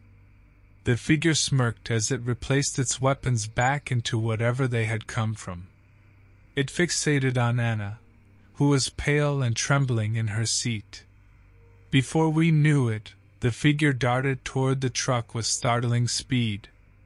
As it reached for the door handle, I swung the tire iron as hard as I could, connecting with its arm in a sickening crunch. The figure reeled back in apparent pain before falling to the ground and vanishing into the darkness. Breathing heavily, Anna and I stared at each other in stunned disbelief. I think we should probably get out of here, I said cautiously. With nods of agreement, we sped off towards Dayton. Hours later, after reaching a populated area with working phone service, Anna finally got a tow truck. We waited together at a nearby diner for her car to be taken care of. At this point, our minds were racing with theories about what that horrifying figure could have been. While scanning news articles on my phone about similar incidents, I stumbled upon a story about a man named Gregor Collins. He had allegedly emerged from isolation after his family's tragic accident years prior and was said to reside somewhere in Ohio. Reports stated that he had somehow mastered ancient blood rituals that changed him physically allowing him to torment unsuspecting victims with his nefarious talents. As far fetched as the story seemed, I couldn't shake its similarity to our own terrifying encounter. A cold dread clenched my chest, but I kept the findings to myself, not wanting to frighten Anna any further. We silently finished our meals before exchanging contact information and bidding each other farewell. I drove back to Route 48, filled with determination and trepidation. My only plan was to try and collect proof of this deadly, intelligent madman named Gregor Collins. I spent the next few days scouring every inch of the surrounding areas but found nothing. It seemed as though Gregor Collins had vanished or returned to the shadows from which he came. Finally, Realizing that there was little more I could do, I reluctantly returned home. As I lay in bed that first night, unable to sleep despite sheer exhaustion, I considered how many others may have crossed paths with Gregor Collins and not lived to tell the tale. Though we had escaped with our lives, I couldn't shake the feeling that Gregor would continue his twisted campaign of terror. The very thought left an unsettling chill running through me, tinged with a horrible sense that we hadn't seen the last of that sinister figure. With our encounter with Gregor now a week behind us, I remained vigilant but couldn't help but wonder if he would ever reappear. Would he target me again? Or would he continue on his path of destruction, seeking out new victims like Anna and me?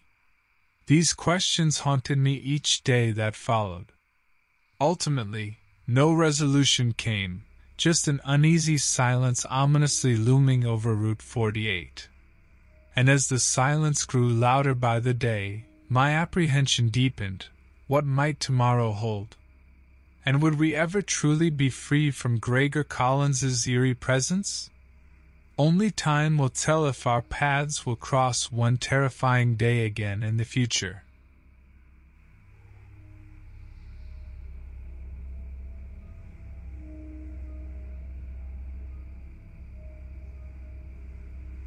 My name is Russell Hartman, and I've always considered my life to be relatively routine. As a truck driver, I spent most of my waking hours on the road, visiting various locations across the United States. But nothing could have prepared me for that harrowing event that would forever disturb my perception of life. It was a humid evening as I was driving through Asheville, North Carolina. The radio host was joking about the absurdity of pineapple on pizza when the sudden screeching of tires caught my attention. My heart raced as a car sped past me at breakneck speeds. The vehicle swerved violently, almost colliding with a nearby lamppost. You must be some kind of idiot. I mumbled to myself, trying to shake off the shock. Hopefully, they won't be causing too much trouble tonight. I continued driving and focused on making my way to the depot located in the industrial area of Asheville. With each mile that passed, an inexplicable sense of dread crept into me like icy fingers around my throat. As much as I tried to focus on the road ahead, I couldn't shake it. Something was wrong. Arriving at the depot where I had to make my delivery, I noticed a strange figure outside the building's entrance, a tall man with a hood obscuring his face. He appeared menacing and out of place as he watched me park my rig and exit my truck. Caution kept me wary as I approached him. Hey there. I tried to sound nonchalant despite the tremor in my voice. You work here or something? He didn't reply or acknowledge me with any indication that he heard me speak. The uncertainty plunged further into unease when stinging pain radiated from one leg as if someone had struck it with a burning rod wrapped in barbed wire, unexpectedly escalating the intensity quickly. My vision blurred for a moment from sheer agony. When it cleared, the hooded man was gone. There was no explanation, but I felt confident that the cloaked figure had something to do with it. Another surge of pain pulsed through my leg, netting a barely suppressed cry. People at the depot were eyeing me with concern but kept their distance. Desperate for relief, I dragged my uncooperative leg towards the people to ask for help. My pleas fell on deaf ears as they stared at me in abject fear. What's the matter? Can't you see I'm in pain? I yelled at them, my voice cracking under a wave of anguish. They muttered apologies and dove away from the scene like scared animals. Fighting back tears of frustration and confusion, I leaned against a nearby wall for support as pain repeatedly assaulted my leg. As I glanced around, trying to make sense of the situation and seeking someone who could help, I noticed the hooded figure reappear, now standing in front of a group of people who had joined him. At once, it became clear why no one offered assistance. They were terrified of him like lambs led to slaughter. His power over them, both incomprehensible and unreasonable, made me shudder at the thought of what this force could be capable of inflicting upon them all at that very moment. As I struggled to stand, I knew I needed help. But my cell phone lay inside the truck's cabin, seemingly miles away, with my injured leg as it was. My eyes darted around, searching for a passerby or someone who dared defy the hooded man and assist me. Suddenly, a worker braved stepping closer to me, whispering in hushed tones. His name's Vincent. He causes terror everywhere he goes. No one knows where he came from or what he wants, but he's dangerous and relentless. The worker warned me against using my phone to call for help when I inquired about it, telling me that Vincent had an uncanny ability to punish anyone who dared cross him. I'm not going to stand idly by while this man terrorizes everyone, I declared resolutely, determined to end his vicious rule. With stubborn resolve fueling each step, I made my way back to the truck and retrieved my phone. I dialed the local authorities and quickly recounted the events taking place. Dispatch assured me that help was on the way, but I couldn't help feeling that the situation had only escalated further since making the call. Glancing around, a noticeable change took place in the atmosphere. People appeared more afraid than before, their eyes darting frantically as they anticipated Vincent's retribution. Before long, sirens blared in the distance as police vehicles arrived on the scene. The officers approached cautiously as they surveyed their surroundings, demanding that Vincent surrender himself immediately. A chilling sound emanated from an unseen source. It resembled an animalistic snarl intertwined with guttural human laughter, but fell short of either description entirely. More surges of pain splintered through my body, first in my leg, then branching out into new territories of torment along both arms and even my chest, rendering me nearly immobile as I sank against an exterior wall for support. Vincent abused his powers further, causing injuries among the terrified people gathered. A wave of despair washed over me as I witnessed his brutal display of crushing bones and tearing flesh with just the will of his mind. The gore and gruesome scene became too much for me to handle, and I averted my gaze from the carnage unfolding when officers attempted to approach him. They were quickly yet effortlessly dealt with, their broken bodies flung against nearby structures like rag dolls discarded without care. No one stood a chance unless something drastic took place. Tears streamed down my face as anguish at my own helplessness surged within me. My voice cracked as I yelled, Please, Vincent! Just stop this! Let them go! To everyone's surprise, violence ceased entirely as silence swept over the depot like a suffocating shroud. Vincent turned to face those who remained standing, torn between hope and dread in equal measure. Do you truly wish for it to end? Vincent's voice resembled gravel scraping deep inside one's ear canal, jarring and intrusive when it connected with your senses. He paused as he studied my expression, then continued, Very well. With that single declaration, he melted back into the shadows from whence he first emerged, leaving devastation in his wake.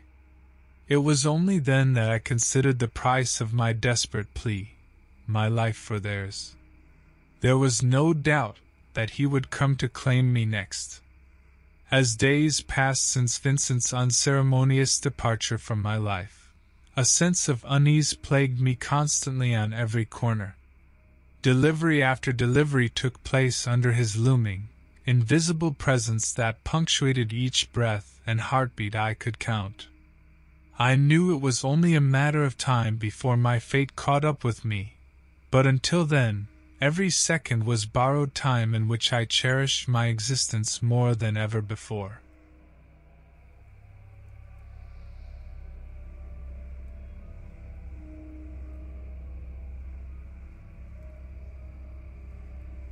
I pulled into the small truck stop just outside of Eureka, Nevada, feeling the need to stretch my legs and grab a cup of coffee.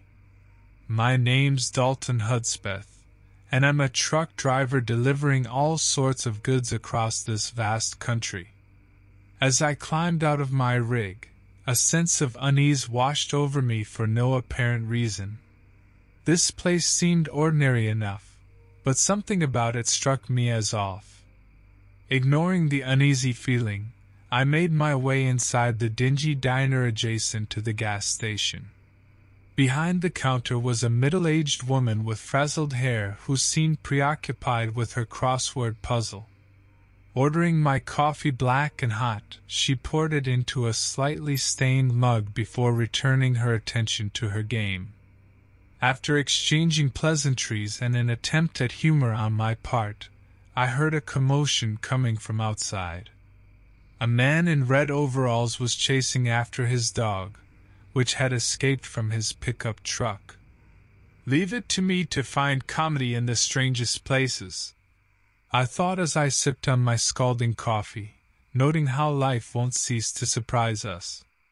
Slowly starting to relax back into my usual light-hearted demeanor, there came an abrupt interruption from the faint sound of someone screaming just beyond the parking lot. All movement inside the diner suddenly stopped as we listened intently.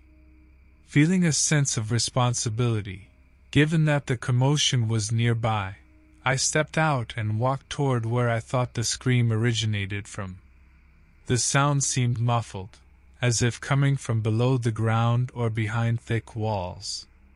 Having reached a row of storage units behind the truck stop area, I tried various doors but didn't have any luck finding their source. Growing more anxious as seconds ticked by, I finally heard another desperate scream piercing through one particular unit's door. Out of options and consumed by fear for whoever might be in need, I decided to kick down the door.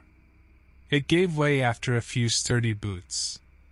As the dim sunlight seeped in, the grotesque scene that unfolded was one I would never forget. A tall man dressed in a dark hood and torn clothes stood over another individual chained to a wall. The bloodied victim had clearly been brutalized and now seemed to be choking on their own blood.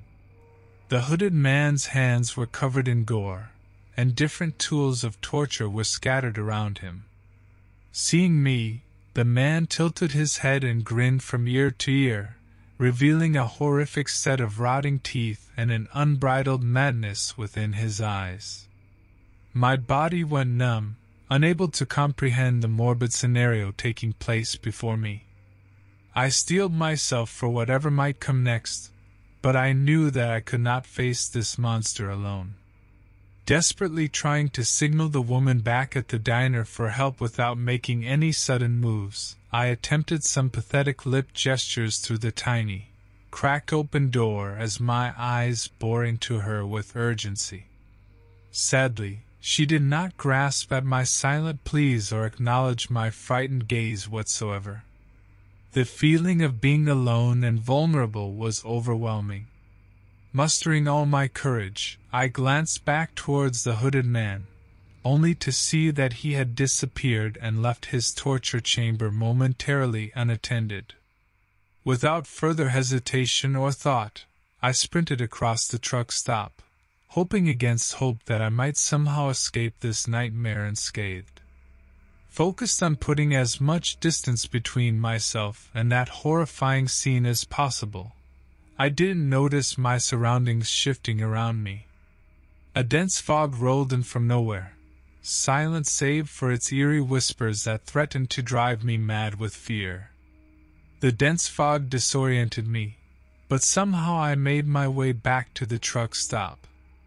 With haste, I told the woman at the diner about what I had just witnessed, explaining that it was crucial that we call for help immediately.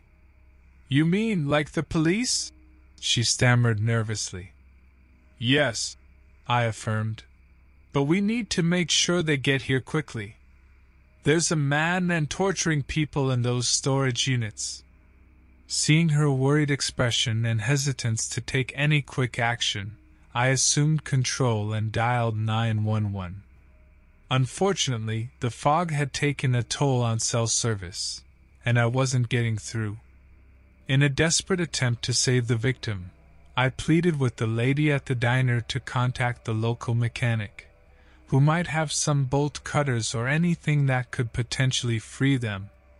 She hesitated but agreed after seeing my panic stricken face.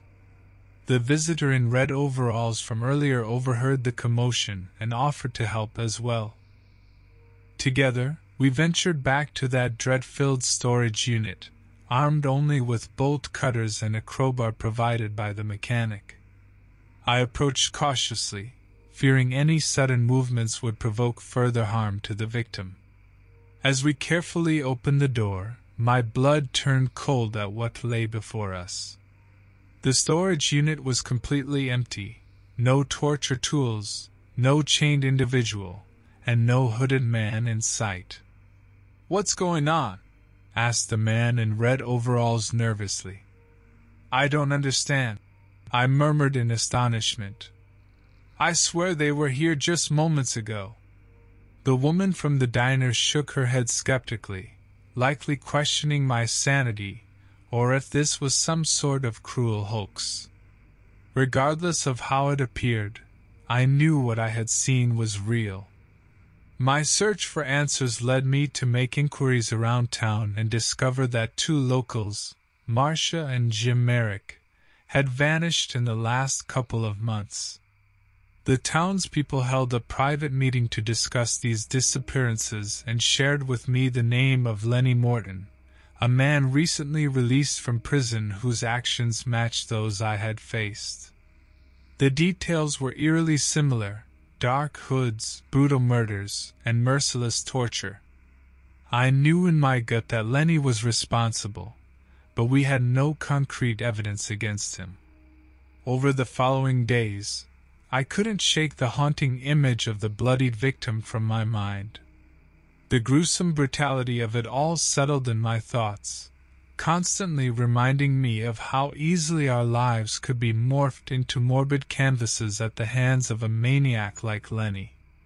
Feeling incapable of leaving matters unresolved, I decided to act before any more innocent lives were taken. I made several attempts to contact law enforcement in neighboring towns but fell short due to them being stretched thin on other cases and insufficient evidence pointing to Lenny. I knew taking down someone as dangerous as Lenny Morton required a well thought out plan. As day turned into night, I carefully plotted my next move, hoping that somehow my actions would lead to his undoing. As I lay in bed that evening with every intention to confront Lenny Morton personally the following day, sleep eluded me. The thought of what might happen next was like a specter lurking just beyond sight an eerie presence neither seen nor understood fully but managing to claw its tendrils deep into every fiber of my being. Little did I know just how near danger truly was. Unbeknownst to me or anyone else in Eureka, Lenny Morton's next vicious act would soon be unleashed upon us all. And the town would never be quite the same again.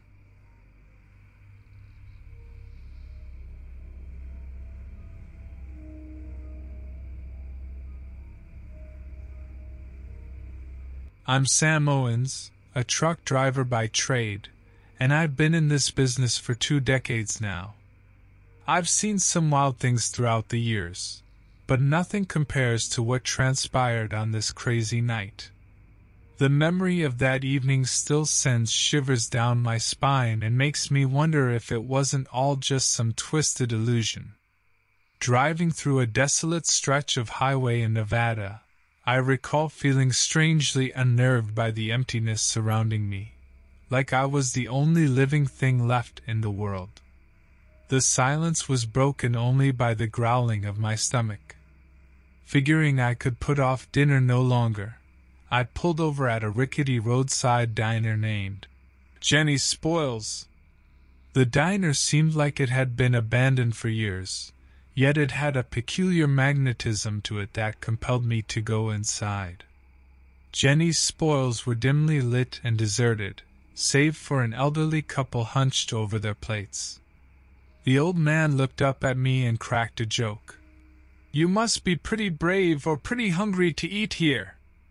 Upon scanning the menu with growing suspicion and hesitation, I couldn't shake off the nagging feeling that something was terribly off about this place. Little did I know how right that gut instinct was, or how soon that would become painfully clear.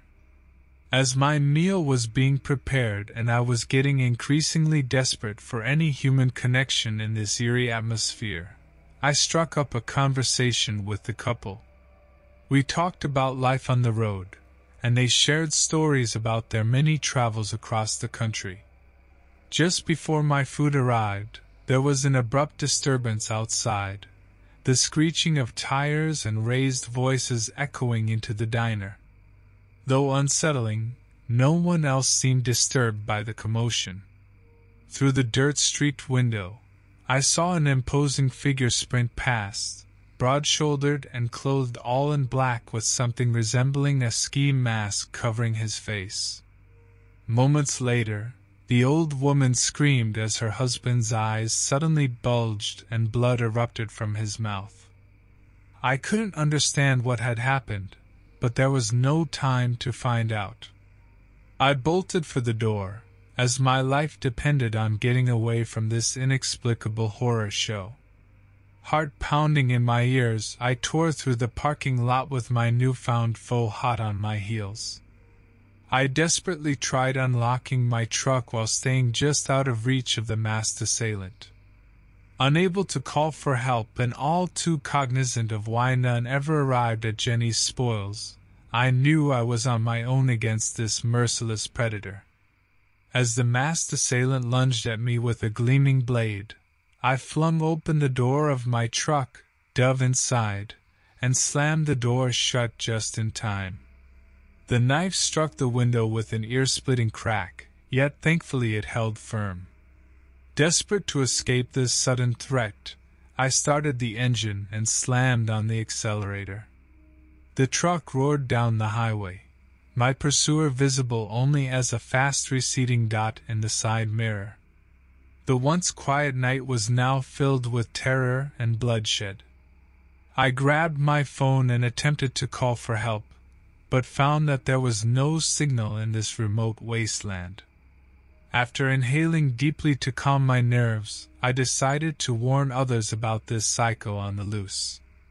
I managed to come across a gas station where I approached a disheveled looking man named Mike repairing his motorcycle. His calloused hands and weather beaten face belied a kind hearted nature. Upon realizing our common trait, he offered his help without hesitation. Together with Mike, we retraced our steps back to Jenny's spoils to ascertain what had happened. To our shock, we discovered a deserted place without even a trace of the elderly couple or their car. It was like they'd never existed. Our quest for answers about who was tormenting us led us through Nevada's treacherous landscape toward rural communities that were plagued by similar grisly crimes. We met other survivors who spoke of a nameless figure that haunted highways and backroads, picking off lone travelers with methodical ease. Then one day we encountered a cryptic message scrawled along the wall of an abandoned motel lobby written by someone who claimed to know our attacker's identity. Beware of James Blackridge.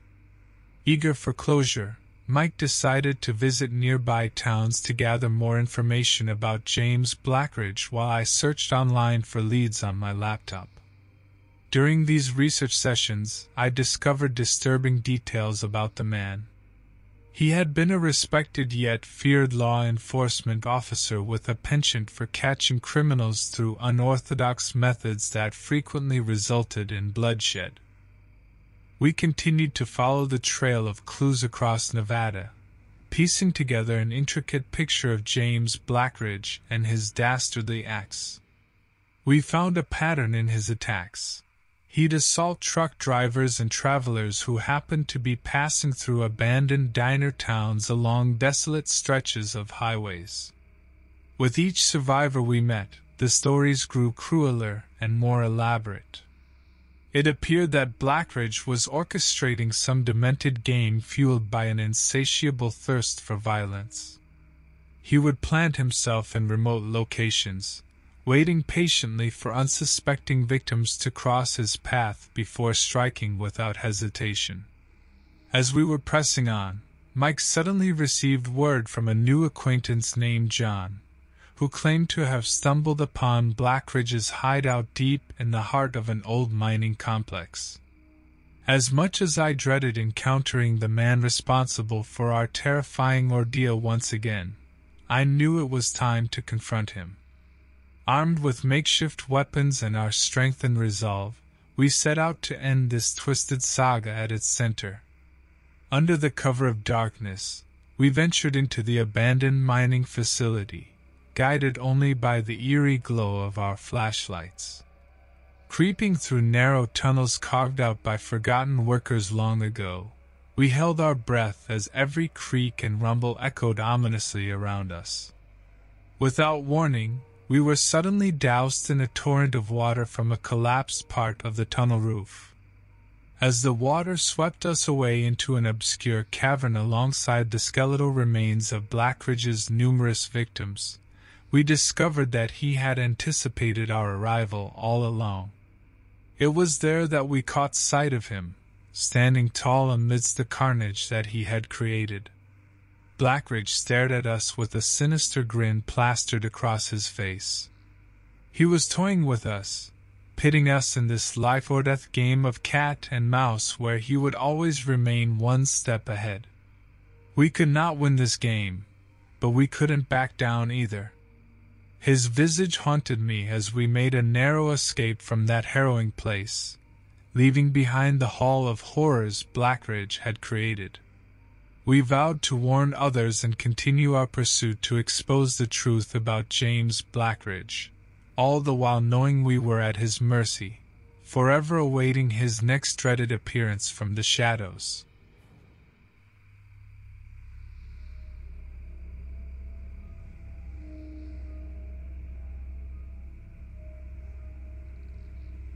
It was my first time driving through Stillwater, Oklahoma.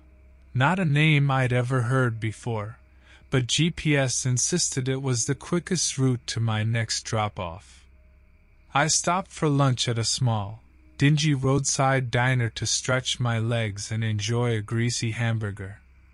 A group of burly truckers sat at the bar engaged in a heated discussion, punctuated by bouts of deep belly laughter. As I paid the bill, one of them, a burly man with a graying beard, called out to me. Hey, buddy, he said, chuckling. You heading out? Be careful on these roads. You never know what kind of trouble you'll run into. I nodded politely, mustering up a light-hearted reply. I've seen enough horror movies to last me a lifetime. I'll be just fine. With that, I left the diner and hit the road again. Miles down the highway, surrounded by rolling hills and sprawling farmland as far as the eye could see, darkness slowly crept in. Twilight cast an eerie glow on everything around me as my headlights sliced through the impending night. The boredom of hours behind the wheel began to weigh heavily on me. It seemed like every mile marker looked the same as the last. Desperate for something, anything, to break the monotony of my journey, I turned up the radio in search of some tunes. As I searched for stations, static ringed loudly through my truck cab before being interrupted with an emergency warning. Attention all drivers! Authorities are searching for an escaped prisoner, possibly armed and dangerous. Last seen near Stillwater. My blood ran cold at those words. The very alertness that evening news always seems to warn us about is now haunting me. I gripped the wheel tighter and increased my speed as darkness swallowed up any remaining trace of daylight. That's when it happened. As I rounded a bend, my headlights caught strands of unkempt hair and a gaunt, pale face staring at me with wild eyes. The bone chilling image lasted only a split second before disappearing, and I was left feeling nauseous and paranoid. I couldn't tell if my mind was playing tricks on me or if I had genuinely just encountered the escaped prisoner. Suddenly, all those funny jokes shared back at the diner became deadly serious. Imagine being stalked on a dark country road, one can only begin to grasp the chilling reality I faced that evening. Heart pounding in my chest, I tried to stay focused on the road ahead while casting wary glances in every direction. Knowing help was miles away, there was no other option but to turn off the route and find another way out. At the next intersection, I dashed left down an unknown path that seemed even more isolated than before. Convinced that every rustle of wind or rumble of my engine masked the sound of the murderous escapee closing in on me, my sanity began to fray at the edges. The quiet loneliness threatened to consume me whole when, out of nowhere, glaring red and blue lights filled my rearview mirror. Relief washed over me like a tidal wave as I pulled over, convinced that this would be my saving grace from this nightmare ride through Stillwater. The police officer approached the side of my truck, his uniform partially covered in mud, and demanded that I step out of the vehicle while seemingly sizing me up with hollow eyes. Adrenaline coursed through me as suspicion moved like whispers near the edge of my consciousness. Could it be possible that the very person I sought safety in was none other than my own personal terror coming to life?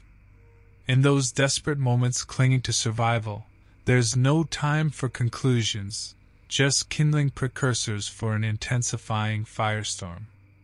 As he reached threateningly for his holster, I made a split second decision and slammed the accelerator, peeling away from the scene. In a fleeting flash, I took off into an uncertain fate. Our altercation only began as the very essence of horror unraveled before me. My focus shifted between the rearview mirror and the winding road as I pushed my truck to its limit. I knew I couldn't outrun a police cruiser, but the adrenaline had taken hold, and thoughts of survival drowned out any sense of rationality.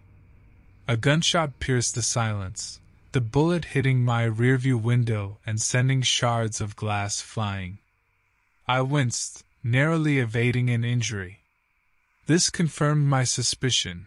The officer was, in truth, the escaped prisoner, and he was intent on stopping me by any means necessary. Seeing a gas station sign just ahead, I swerved off the road and raced toward it. As I pulled in, horrified faces and headlights looked back at me as bystanders ducked for cover. They knew the danger that approached. An older woman dashed into the gas station to hide behind a safety barricade clutching her cell phone close. The police car screeched into view mere seconds later. The shooter kicked open the door and stepped out of the vehicle like an ominous demon from a nightmare. His face was distorted by rage, and his eyes absorbed every detail in his brutal pursuit.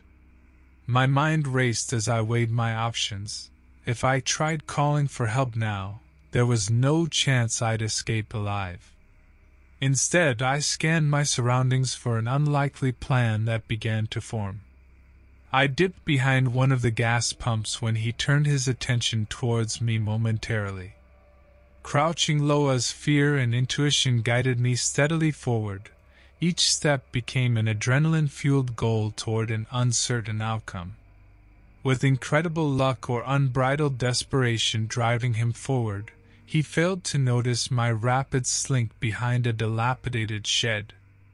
As he approached with deadly intentions inked across his grimace, shouts echoed through the night air. Stop!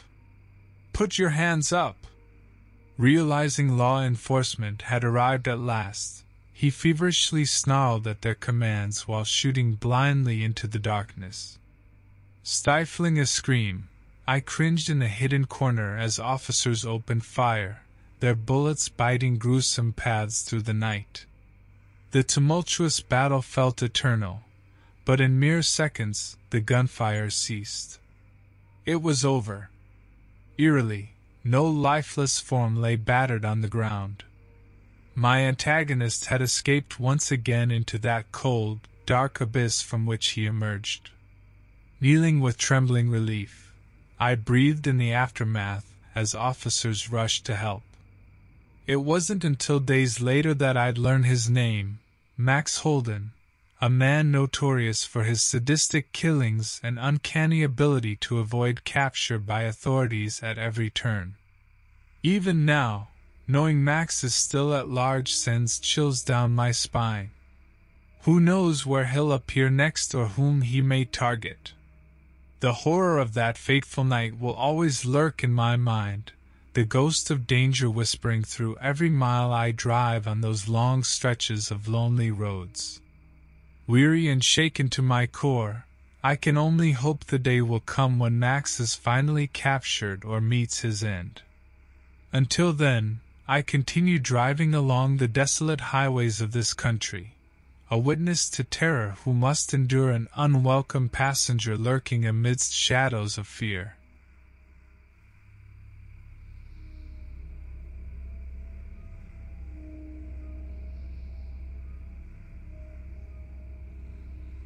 As I pulled out of Littleton, Colorado, behind the wheel of my trusty truck, Bonita, I couldn't help but chuckle to myself. It was a strange day indeed. I'd come across a flock of pink chickens near the highway earlier. The bizarre sight made escaping Littleton feel slightly surreal. My name is Darius Lunsford. I've been a truck driver for almost two decades now, and it's truly never been dull. Today was no different in that regard. Driving my usual route along the I 70, I stopped at the Blue Jay Diner for a quick bite to eat. It was here that an unassuming man named Milton introduced himself. We chatted over some greasy burgers and shared the kind of banter you'd expect from two strangers with nothing else to do. Milton seemed like any other person you'd meet on the road, quirky and forgettable. As we wrapped up our meal and were preparing to leave the diner, some panicked customers burst into the Blue Jay diner with shocking news. There had been a series of horrifying incidents in Boulder, not far from where we were now.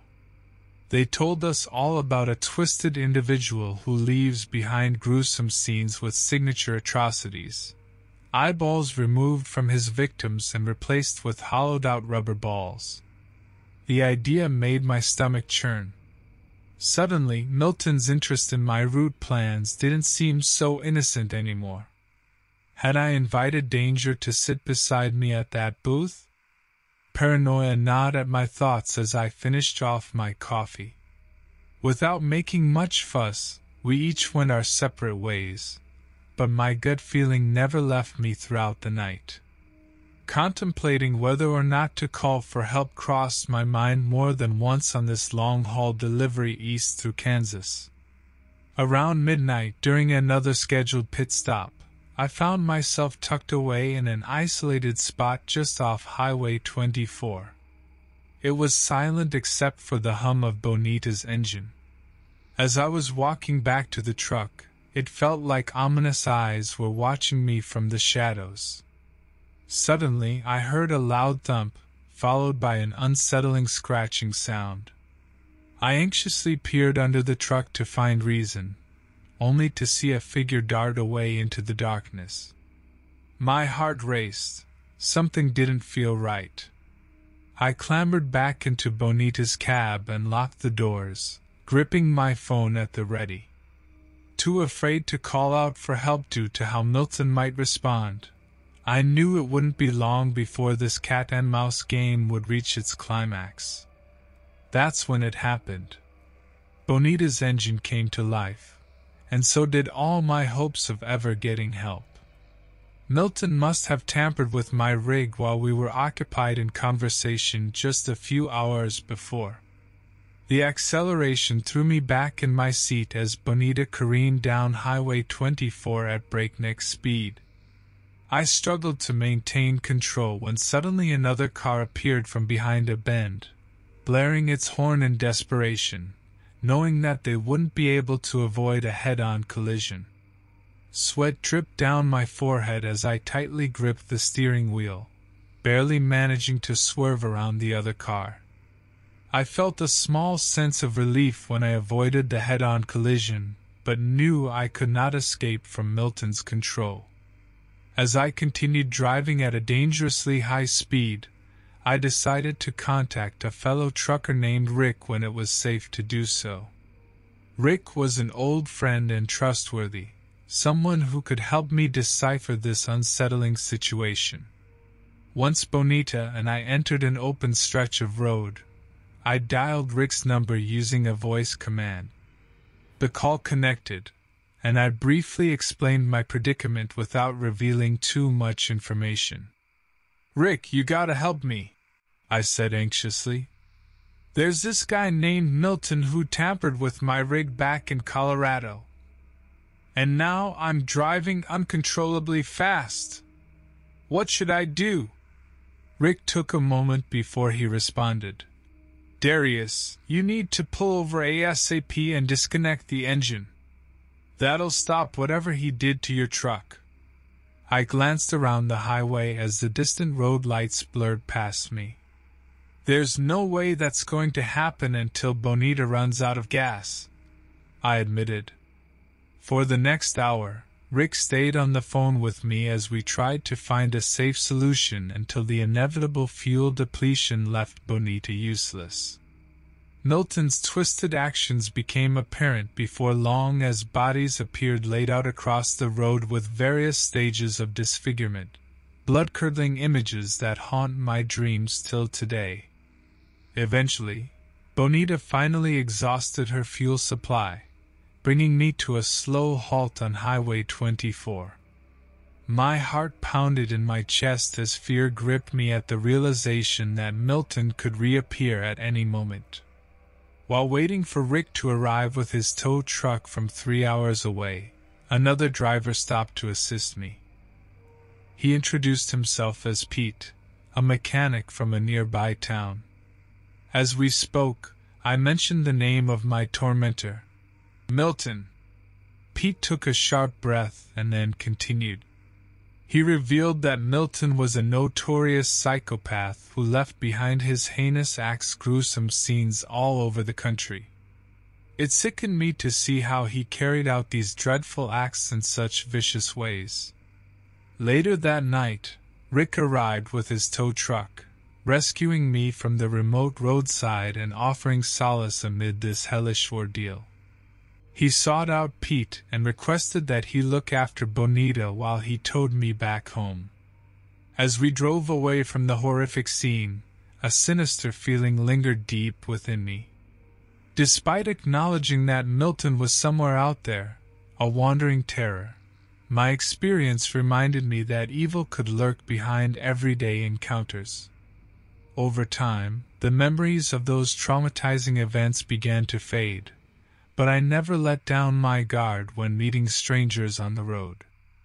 I often wonder if Milton continues his vile deeds elsewhere or if fate eventually leads him to meet his match. This chilling encounter left an indelible mark on my psyche. Though closure eludes me, knowing someone as insidious as Milton roams free haunts my every mile on these lonely highways.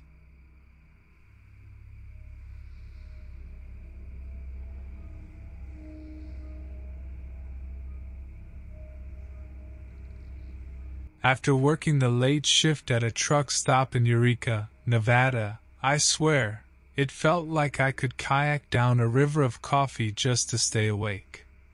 My name's Max Donnellan, by the way, and I've been driving trucks for the past 15 years. Let me tell you about the time I had the most hair raising night of my life. After finishing my break, I hopped back in the cab with another long stretch of road ahead of me. The air was thick with desert dust, smothering any stars that might have lit up my journey otherwise. Miles of desolate land stretched lazily on either side of my route. My radio crackled to life, and a fellow trucker named Earl cracked one of his goofy jokes through the static. Hey Max, you know what's creepier than me on this lonely boulevard at midnight? What's that? I asked with a chuckle. A mime is trying to open a jar of invisible peanut butter. He laughed uproariously while I rolled my eyes. The road wove through an area close to some old mining tunnels that had long been abandoned. That's when things started getting strange. I noticed odd sounds coming from the back of my trailer. At first, I dismissed it as nothing but cargo shifting due to sharp turns taken earlier in the drive. But as time dragged on and the noises grew louder, unnerving scratches and dulled thuds, my pulse quickened and paranoia set in. A small diner appeared in the distance, so I pulled over for some chow, hoping against hope that it would quiet the eerie atmosphere brewing inside me. But even that respite was short lived. As soon as I stepped out of my cab, anyone who could walk away did so immediately. Earl's voice crackled through my radio again.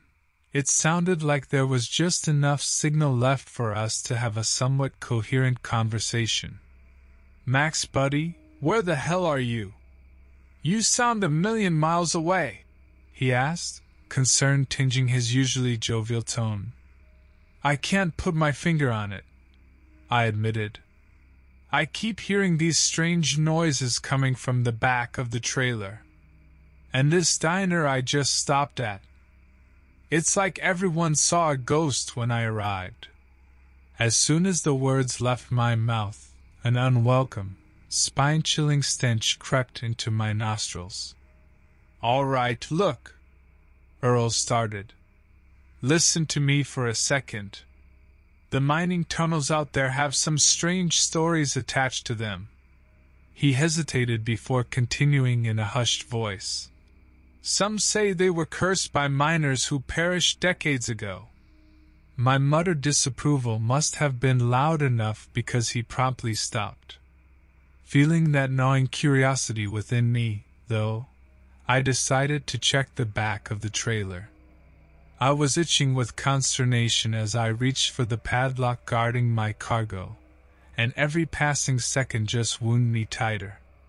Just as I prepared to unlock it and see what devilish thing lurked within, a woman shrieked from inside the diner. Thud after thud rumbled toward me from what sounded like more depths than from inside my truck.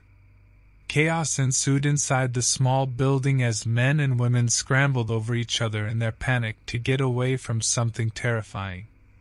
A group of burly bikers thundered out in disarray so fast that it knocked me off balance, with one less than gentle push onto the dusty floor. It was standing behind one of the bikers as though it had cemented itself to him. Its horrifying frame was only visible when they moved apart like rats fleeing flooding sewers. Quick on its feet but solid in stature and appearance, with smoke for eyes and a hellfire look about it. If the rumors had any grain of truth, tonight they met reality. And that reality was stranger, more brutal, and darker than any myth from the past. A fierce growl echoed through the upheaval. A tremendous force slammed into the trailer as the creature lunged. And that was when hell started breaking loose. With the night turning into sheer terror, I had no choice but to call for help. I hastily dialed the local police as the bikers screamed in fear one after another being targeted by this gruesome assailant. He had a disfigured face, marred with blood, and his body was muscular and covered in an assortment of repulsive scars. The unseen force he exuded remained pervasive, churning the diner into a frenzy even before people saw him. The police were skeptical about my description but sent officers to our location regardless.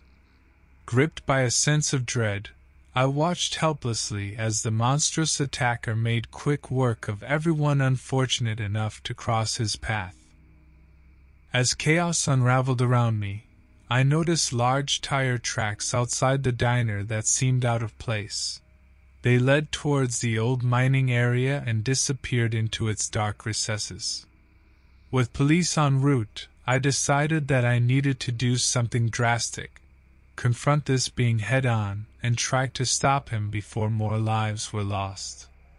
The trucker community often shared stories about a vicious man named Jasper Atkins, tales about how he'd gone mad from years working in the mines before disappearing without a trace. Some people claim Jasper had managed to survive all these years by performing unspeakable acts on unlucky travelers who ventured too close to his hidden lair, drinking blood and consuming organs for sustenance. What if this creature stalking us was none other than Jasper himself? Desperate for answers, I followed the gruesome tracks. Upon entering the mine, my suspicions were confirmed. Among the mutilated corpses and grotesque imagery scribbled onto the tunnel walls was Jasper's name. Moving further into the depths of this horrifying place, my eyes glimpsed fragments of cloth that bore an uncanny resemblance to those worn by Jasper on his last known sighting. As I scrambled around trying to collect more clues to verify my theory, sirens wailed in the distance outside the diner and there behind me stood Jasper. He snarled viciously, his bloodshot eyes locking onto mine. Quickly assessing that an all out brawl would be futile considering his sheer size and ferocity, I opted for a tactical retreat. I sprinted back to the entrance, ushering in the police. The brave yet ill prepared lawmen loaded their guns and ventured deeper into the tunnels, fervently hoping to bring an end to Jasper's reign of bloodshed. Moments later, the nightmarish sound of gunshots echoed through the caverns, silencing abruptly as more screams signaled their doom. When it became clear that Jasper had obliterated the police presence with terrifying ease, I sorrowfully abandoned my pursuit of answers and returned to my truck at the diner recounting my plight to Earl over the radio as I sped away from that god-forsaken place. He listened with morbid fascination before revealing that he'd heard similar stories from other drivers about mysterious disappearances throughout this region. It seems nowhere is safe, mused Earl solemnly. And even with your fearless efforts tonight, who knows when and where Jasper will strike again? As I drove into the night ruminating on the fates of those victims fallen to this bloodthirsty menace, and haunted by my inability to end his gruesome spree, I couldn't shake a lingering sense of unease. Seemingly undebatable truth overshadowed any slight reprieve. It was only a matter of time before Jasper emerged once more, ready to unleash mayhem on another unsuspecting group of souls.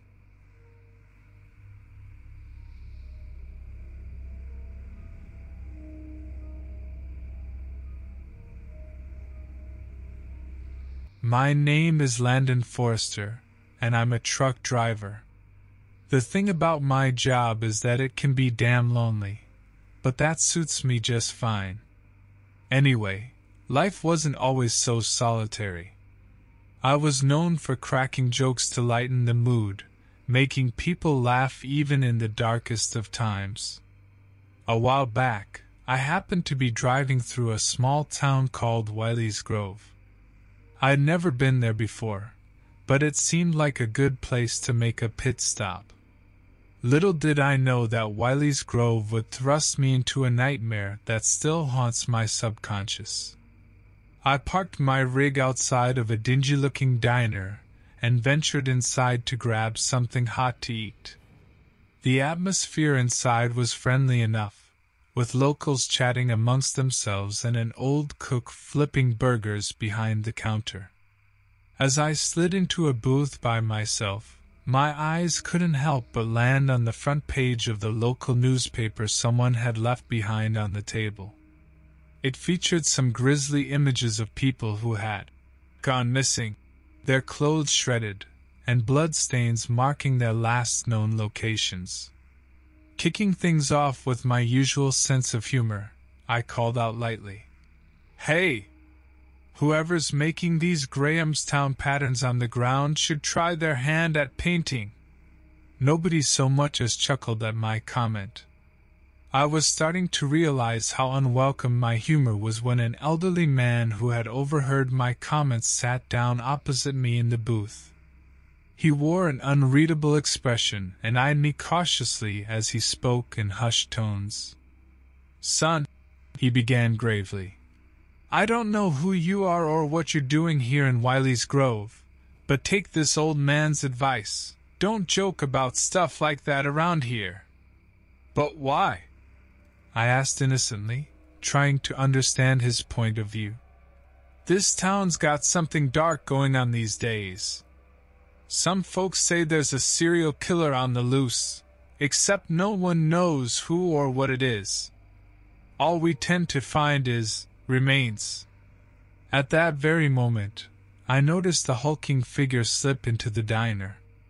The man was massive and disheveled looking, with heavy work boots, blood-stained clothing, and gruesome scars on his face that seemed fresh. He lumbered over to the counter and began eating with ravenous hunger. At first glance, no one would blame me for jumping to the conclusion that he might be the mysterious attacker in Wiley's Grove. I think I might have an idea of who our killer might be, I whispered to the old man, nodding towards the suspicious individual at the counter. Though he looked horrified at my reasoning. That's Big Joe, he murmured, almost too quiet to hear. No one knows how he got those wounds or why he's still alive. Rumor has it, though, whatever hurt him has been tormenting this town ever since. I couldn't shake the feeling that Big Joe held the secret to uncovering Wiley's Grove's hidden horror. So instead of getting back in my truck, I decided to follow him when he left the diner. Through empty streets blanketed in darkness, I trailed behind him until we reached a rickety old house on the edge of town. My curiosity getting the better of me, I peered through one of its cracked windows to witness a disturbing sight. Big Joe opened a trap door hidden beneath one of his cabinets and started bringing out unspeakable things, body parts wrapped in plastic. Was this where it all happened? Was Big Joe both victim and perpetrator in this twisted tale? Suddenly, a horrific snarl and another heavy figure emerged from amid large wooden crates in the garage, clearly having taken notice of my intrusive gaze. Before I could make any sense of the situation, my field of view exploded with vicious snarls and blood curdling screams. I found myself frozen in terror as I watched Big Joe struggle with this thing. My fight or flight instincts pushed me to run back to my truck and make a break for it. But call it duty or curiosity. I couldn't leave Big Joe to suffer at the hands of the true menace behind all those mutilations. Still standing by the cracked window, my heart raced as I watched the gruesome scene unfold before me. Big Joe grappled with the monstrous attacker, his fists struggling to land any blows on a man seemingly made of sinew and muscle. Despite Big Joe's impressive size, this person was a force to be reckoned with. Should I call for help? It would make sense. However, as I weighed my options, it became apparent that my call would likely go unnoticed in this quiet town. Furthermore, time was of the essence.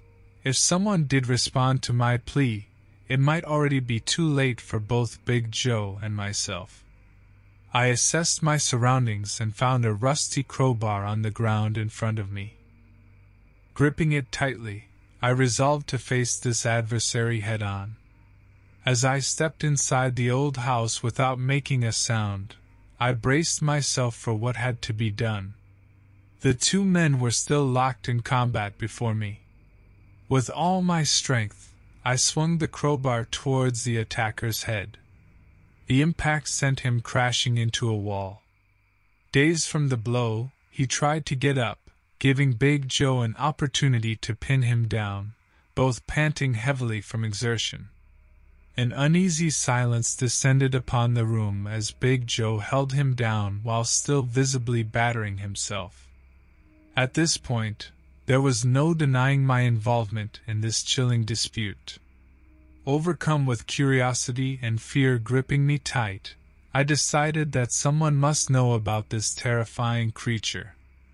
After some hesitation, we hauled the subdued attacker out of the house and restrained him with chains found around the property. Despite our initial success in taking him down, we knew keeping him bound wasn't a long term solution. Although we remained uncertain about his motives or origins, it was clear he wasn't your typical human being. It was also evident that we couldn't let him terrorize Wiley's Grove any longer. Big Joe revealed that the local sheriff was a childhood friend. He concluded that speaking to the sheriff, a trustworthy man named Dan, may be our only shot at finding answers. Dan listened intently to our story, his face falling with horror and disbelief. Eventually, he recounted a tale of his own, one of a troubled youth named Samuel Anders who disappeared just before the gruesome attacks began. His violent history and tendency toward trouble had long been whispered about in town, garnering no sympathy from those he left behind. While the townspeople assumed Samuel had fled to nurse his shattered reputation, Dan believed there was more to it than that. The explanation behind his transformation into this monstrous man was what truly puzzled him. The wounds Samuel sustained could only have been inflicted by another human, cruelly mutilating him before unleashing him upon Wiley's Grove. With no choice left but to keep Samuel restrained for now, we knew we'd need to find out more information in order to prevent further torment. The reality of Samuel's gruesome attacks hung heavy in the air as we exchanged grim looks. There were more victims we hadn't even known about, all taken brutally from their lives for reasons unknown. As Big Joe and I left Dan's office, we felt not only unsettled by our harrowing experience, but also more determined than ever to unmask whoever held the key to this most sinister tale. What appalling fate awaited Samuel Anders? What would await us as we dove deeper into the abyss? We stood at the precipice of a haunting mystery, one we were unsure if we'd ever truly solve, and yet turning back seemed impossible now. Our weary minds were already consumed by visions of the grisly horrors and chilling unknowns that lay ahead.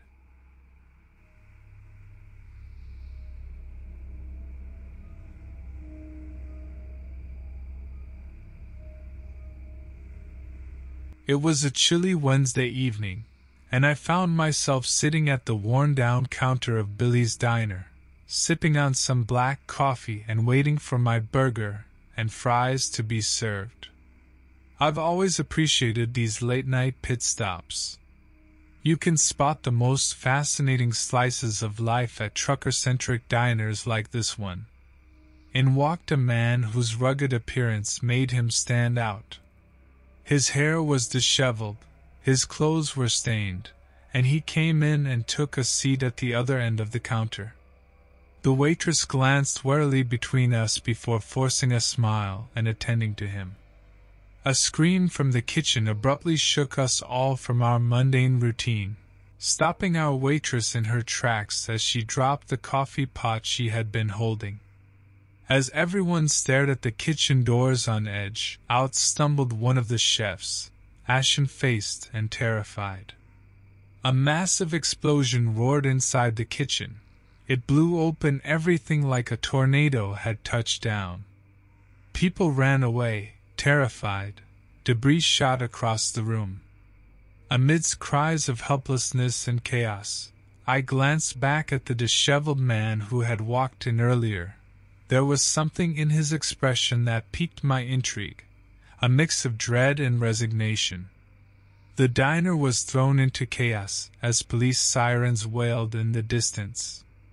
As people scurried past me in a blur or tried to give their statements to arriving officers, I made my way to the entrance only to be stopped by a hand on my shoulder. The same disheveled man stood in front of me. Look, buddy, he whispered urgently into my ear. I don't know who you are, but that man lying amongst the ruins inside there, Edgar Nolan, is an infamous serial killer who's been haunting these roads for years. He let go of me and rushed forward, disappearing into the night before completing his sentences. My world spun as I tried to process the information, noticing a sharp metallic taste caused by a sudden, forceful impact against my mouth. My dazed state allowed me just enough mental acuity to see the disheveled man speedily cut himself free of the ropes that restrained his hands before I was back in darkness. The very next instant, I was rudely hoisted up by the collar of my shirt and slammed onto an overturned table, still wet from spilled coffee. Gasping for air, trying to escape the suffocating grip of the serial killer, I reached down and picked up a broken shard of glass that had been knocked over earlier. With the shard of glass in hand, I stabbed it into Edgar Nolan's forearm. He howled in pain and released his grip on me. I didn't dare stay to see what would happen next. I sprinted towards the door, desperate to leave the carnage behind. I stumbled outside into the cold evening air, my heart pounding as I tried to decide my next move. The sirens grew louder, and I knew I couldn't remain there any longer. As much as I wanted to call for help, something told me not to involve anyone else. A life or death situation like this could easily lead to more casualties. Running in a random direction, I took a side road and found shelter behind a truck trailer parked there. As expected, Edgar Nolan had pursued me. Despite his outward disheveled appearance, he moved with terrifying grace. His gait was smooth and calculated as he hunted me, his prey. My breath caught in my throat as he approached my hiding spot, followed by the sudden arrival of police cars filling the main entrance of Billy's diner. The flashing lights illuminated his distorted face, revealing what looked like scars that may have once been an attempt at self mutilation or purposeful rough ridges created for an eerie effect. The officers rushed into the diner while two remained outside, looking for any witnesses or suspects that may have fled the scene. They couldn't grasp the true monster responsible. Some things don't live within our realm of thought. As Edgar walked away from me, his peculiar scarred face lingering in my mind, he stopped abruptly and stared directly at an officer who had turned her attention towards him. She paused for a moment before yelling, Stop! at him while aiming her gun. He stood unfazed while staring back at her calmly. She fired two shots right at his chest. Shocked by this quick act of violence in front of them, other officers surrounded the scene. Edgar, however, appeared unscathed by the bullets and continued his alarming gaze at the officer. Then, without a word or any facial expression change, he turned around and walked away. No one dared follow him. In the aftermath of that chilling night, a manhunt ensued for the now infamous serial killer Edgar Nolan.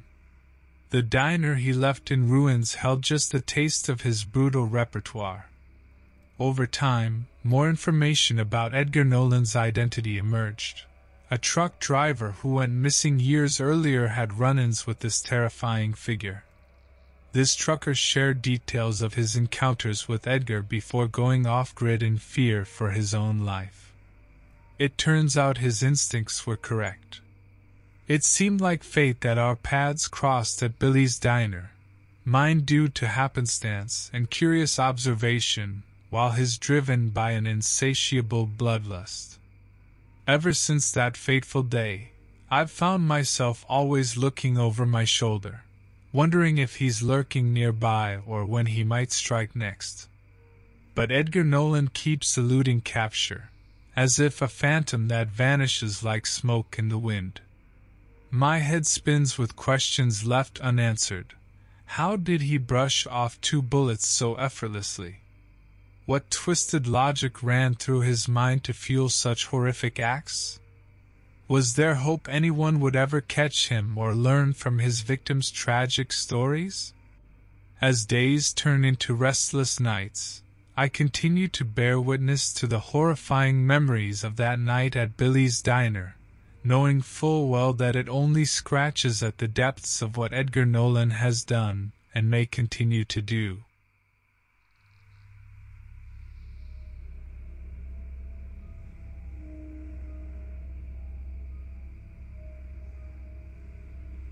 My name is Leonard Bradshaw, and I'm a truck driver by trade. Some people laugh and make jokes when they hear that, but I'm proud of what I do. I keep the country's wheels turning and ensure that goods get to their destination on time. But there's something you should know about my job. It's not always as straightforward as it seems. In fact, there are times when things get downright terrifying. I'm driving through a small town in Alabama I like to call Spidersville, owing to an unsuccessful attempt to conquer my fear of spiders. In any case, the town is quiet at this time of the evening, and I am about to make my last stop before heading home. Pulling into a gas station for a late night refuel, I walk into the small convenience store where two other customers are casually chatting and browsing through the snacks. We exchange nods before I make my way to grab some coffee. Jason Rowley, a dear friend and fellow truck driver, sits nervously by the door of the shop. Have you been listening to the news lately? he asks solemnly. What's going on?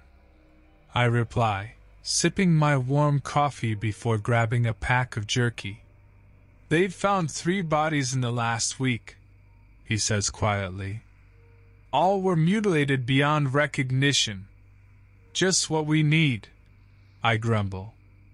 Some psychos are going around killing for fun. Jason slowly nods his head in agreement before we continue with our conversation about our roots. A sliver of dread starts creeping up on me as Jason mentions how another trucker discovered one of those victims' remains just past that deserted parking lot we always use for breaks. A while later, with an eerie sensation crawling beneath my skin, I gear up and continue my route, unable to shrug off that conversation with Jason. The moon only offers a flickering light to guide my way through the dusty, isolated roads of Alabama. My eyelids grow heavy, and I decide it's time to pull over to a spot well off the main highway. As I park my truck, my eyes fixate on a rundown building in the distance. The shadows it casts blend with the darkness of the night. I step out of the truck, stretching my legs before crossing my arms and leaning against the vehicle. A sudden scream pierces through the stillness of the night, bone chilling and soaked in terror. With horror surging through me, I scramble back into my truck, locking the doors before rummaging through my glove box to grab a tire iron, my only means of defense. I strain my ears, hoping to hear something that could determine whether I should intervene or make a break for it. Somewhere in that eerie distance, where shadows blur between trees, I see a tall figure dragging what seems like lifeless limbs. My stomach clenches as bow rises in my throat at this gruesome sight. Slug like sweat drips down my neck as a decision weighs heavily on me. I stuff keys into the ignition and jab them with trembling fingers. But too late. The figure emerges from the shadows, nearing our encounter. The figure draws closer, each step deliberate and menacing. I fumble with my phone, intending to call for help, but the weak and sporadic signal mocks me, rendering it useless. Clutching the tire iron tightly, I take a deep breath and brace myself for the confrontation that lies ahead. I hastily open the driver's side door and edge out of my truck. The figure pauses, seeming to consider me an inconsequential challenge. With sheer determination, I charge towards the mysterious figure, tire iron raised high, ready to strike. Our scuffle is brief yet brutal. Despite my best efforts, it is quickly apparent that the antagonist possesses exceptional strength and cunning. With great effort and sheer desperation, I manage to land a single powerful blow on the attacker's shoulder before he retaliates. A solid punch sends me reeling back, pain blurring my vision, as I crash into the gravel beside my truck. Pinned down beneath his repulsive gaze, I know that I am in grave danger. The attacker seems to savor this moment before abruptly turning away from me. With a renewed sense of urgency, the antagonist drags his battered victims into the desolated building nearby leaving me bloodied but alive. More terrified than ever, I crawl back into my truck and frantically try to gain control of my trembling limbs. Gathering all my remaining strength, I drive at breakneck speed from the scene and towards town. Upon reaching civilization, I immediately seek assistance. Local authorities swarm the gas station where Jason and I had spoken earlier that night. After a frantic discussion filled with horrifying details of how this cruel being mutilates his victims with meticulous precision, we share our newfound knowledge of his whereabouts. An intense manhunt ensues, involving teams of investigators who methodically work their way through evidence left by recent attacks. Ultimately, they are led to an unforgettable discovery a storage unit filled with sickening documentation of the antagonist's heinous crimes. His name, Adam Denton, is emblazoned across the lease agreement as still current and active. While analyzing the nefarious man's belongings and piecing together his twisted motives, I felt a pang of guilt for not doing more to save his victims earlier that night. The fallout from the investigation envelopes the small town in unease that leaves even the most hardened law enforcement officials shaken to their core. Despite extensive searches and relentless manhunts, Adam Denton remains elusive. He slips through the fingers of law enforcement, continuing to leave whispers of chaos and terror in his wake. As my truck takes me down another unfamiliar road, I cannot dispel memories of those frantically wavering shadows and cries for help that still haunt my dreams. And with each new town and each new horizon, I am constantly reminded that this monstrous being is still out there, lurking just beyond sight. Sleep no longer offers solace or reprieve from my haunting memories, but rather binds me in place with fear.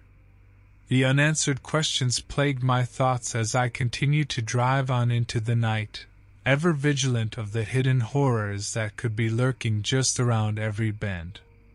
And so I move forward, doing what I can to protect those around me from this malevolent force.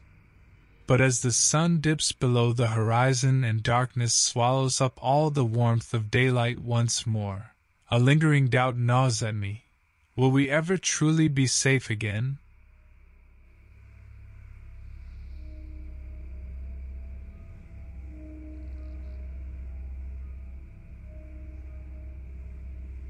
My name is Simon Carter, and if you told me I'd be belly deep in terror during my truck driving route, I would have laughed it off like a bad joke.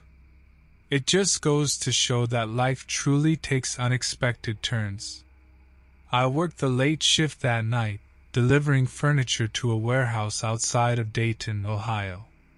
The local radio station played a mix of classic rock and oldies, which made the long drives much more bearable. As I drove along Route 48, my headlights illuminated something disturbing just off the road.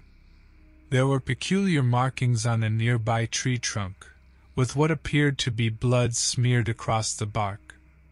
It looked as if someone had attempted to write some message or symbol that was getting interrupted every other stroke. My gut was telling me this wasn't some local kid's idea of a prank. It sent a chill up my spine. At least they didn't try spelling Redrum? How cliche would that be? I muttered aloud in an attempt to bring some levity to the situation. I continued on my journey, trying not to dwell on the unsettling sight. As I was closing in on my destination, an industrial complex near the outskirts of Dayton, I came across what looked like an abandoned car by the side of the road. Desperate pleas for help rang out from inside the vehicle.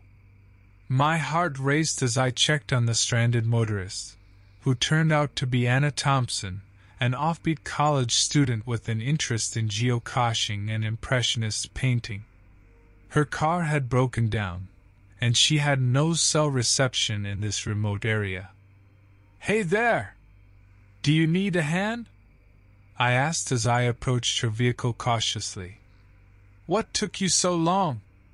Anna half jokingly exclaimed in relief. It wasn't long before Anna was in my truck's passenger seat while we searched for any sign of a mechanic shop. We exchanged friendly banter for a while, laughing about shared pet peeves and the absurdity of pineapple pizza. Eventually, our conversation took a dark turn. I saw something back on Route 48 that made my skin crawl. I confided. I can't shake the feeling that we're not alone out here. Anna confessed to a similar nagging sense of dread and unease. Up ahead, the road twisted through a claustrophobic tunnel. Anna stiffened in her seat as we entered the darkness. It felt like an all consuming void that threatened to consume whatever hope resided inside us. As we made our way out of the tunnel, a figure stood ominously at the exit. It appeared to be covered head to toe in dark clothing and had unnervingly elongated limbs. An unsettling smile stretched wide across its face, revealing rows of sharp teeth. I slammed on the brakes, barely managing to stop mere inches from the figure. It merely continued smiling as it took slow and deliberate steps toward my truck. The atmosphere in the truck shifted from casual camaraderie to sheer primal fear. With trembling hands, I locked all doors and rolled up any open windows. What is that thing? Anna cried desperately as we both stared, paralyzed by its deliberate approach. Stay in the car! I instructed urgently before grabbing a tire iron from under my seat. The figure seemed unfazed by my defensive stance as it continued advancing toward my truck. As it raised one of its abnormally long arms, potential weapons seemingly materialized into its grasp a rusty knife, broken beer bottles. The figure's grotesque grin widened with each item appearing in hand. As the figure drew closer, I knew that I had to act quickly.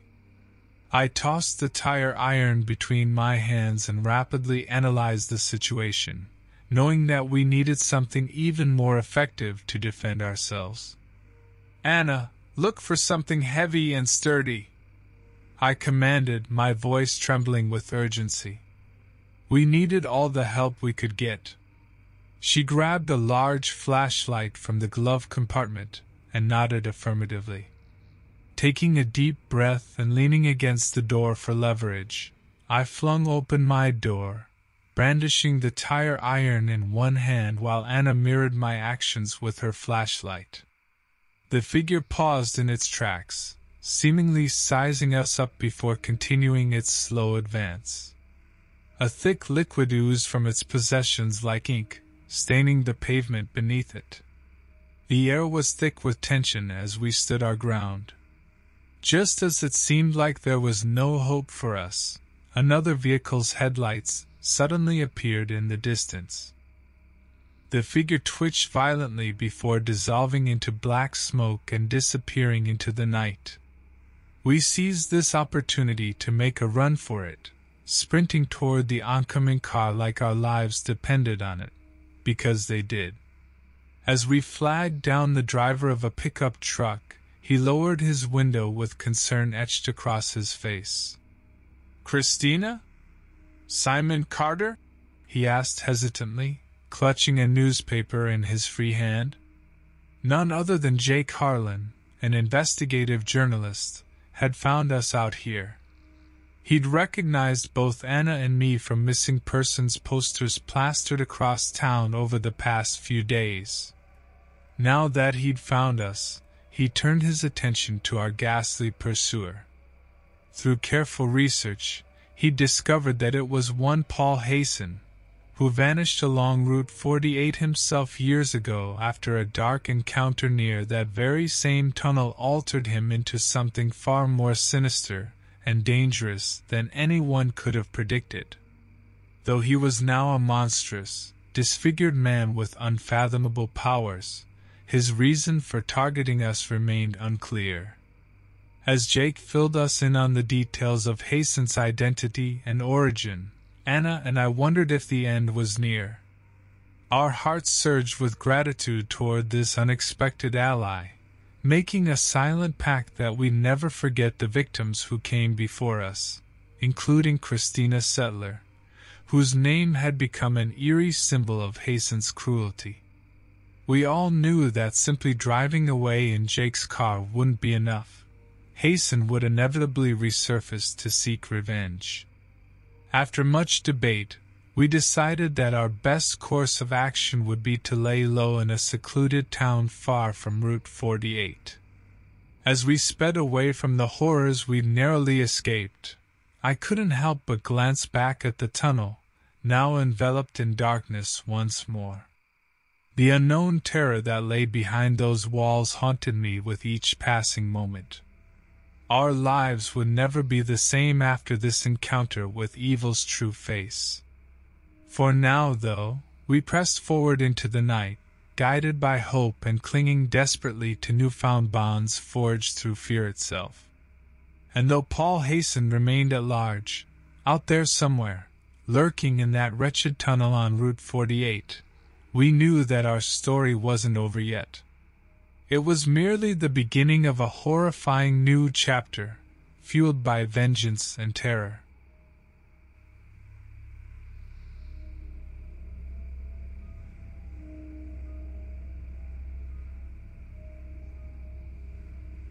As I unlocked the driver's side door of my truck, a breeze seemed to whisper through the parking lot of the isolated gas station near Littleton, Colorado. Being a truck driver named Roger Sims had its ups and downs, but one key to keeping my sanity on long hauls was having a good sense of humor. I chuckled to myself, thinking about the time I tried to convince a waitress that I didn't drink coffee purely because I was scared of unicorns. I climbed into the cab and looked around, making sure everything was in order before hitting the road again. The solitude this gas station provided was both a blessing and a curse. A brief respite from the monotony of driving, but an eerie reminder that danger could lurk unseen. At that moment, I noticed something on my passenger seat a crumpled piece of paper with writing on it. Strange, I hadn't put it there. Curiosity piqued. I unfolded it and read Look behind you. My heart raced as I glanced at the rearview mirror, only to find shadows stretching across the parking lot. Was this a prank? As my pulse quickened, so did my need for answers. Scanning the area more intensely now, I spotted an old payphone against the wall, its once bright red exterior now murky with age. With shaky hands clutching the paper, I exited my vehicle and went directly to the payphone. My thoughts were flooded with anger, unease, and confusion. Someone must be playing a sick joke on me. That's when I spotted her. Hunched over in pain near the side of the building by a dumpster was Clarice Stonemeyer, John Stonemeyer's wife. The Stonemeyers were fellow trucking professionals who had helped me get started long ago. She looked pale and disoriented, her clothes covered in thick dark stains. Clarice! I exclaimed, rushing over and putting a hand on her shoulder. What happened? Her swollen eyes lifted to meet mine, glistening with tears. John! Someone took him. They told me to call you here, but I don't know what they want. Fear clenched my insides like an icy vice, adrenaline surging through my veins. Before I could utter response, the sound of screeching tires filled the air, and we turned to see a black van speed away from us. In that instant, I understood we were victims, trapped in this unexpected nightmare playing out in front of us. The shadows around us continued to grow darker as the sun dipped lower on the horizon. Grabbing Clarice, we stumbled back toward my truck cab when we heard it a gut wrenching scream, followed by chilling laughter echoing across the lot. Panic rose within me, a primal urge pushing me to find the source of these sickening sounds before it was too late. I told Clarice to stay behind while I searched for answers. We couldn't both risk our lives. We exchanged desperate looks and nods before parting. Praying for fortitude, I ventured into the abyss of darkness where no one dared to tread. As I moved further into the shadows, my senses heightened, listening intently to everything around me. Suddenly, I caught a glimpse of movement near a row of abandoned vehicles in the distance, something eerily menacing. I cautiously approached for a closer look, hoping not to alert whatever or whoever was obscured by darkness. But as I crept closer, reality set in with horrifying clarity. Grotesque organs were splayed amongst twisted metal and shattered glass, the remains of John Stonemeyer. Staring at the grisly scene, my mind raced for a plan of action. What kind of sick individual could do this? Who would want to inflict such suffering on people I considered close friends? The urgency of their situation weighed heavily on my heart as I considered the implications of remaining in this place any longer. Clarice still needed help, and we had to get out of there. As my training kicked in, I took out my phone to call the police and keep them informed of our whereabouts. Their response time might not be swift, but it was better than not having any help at all.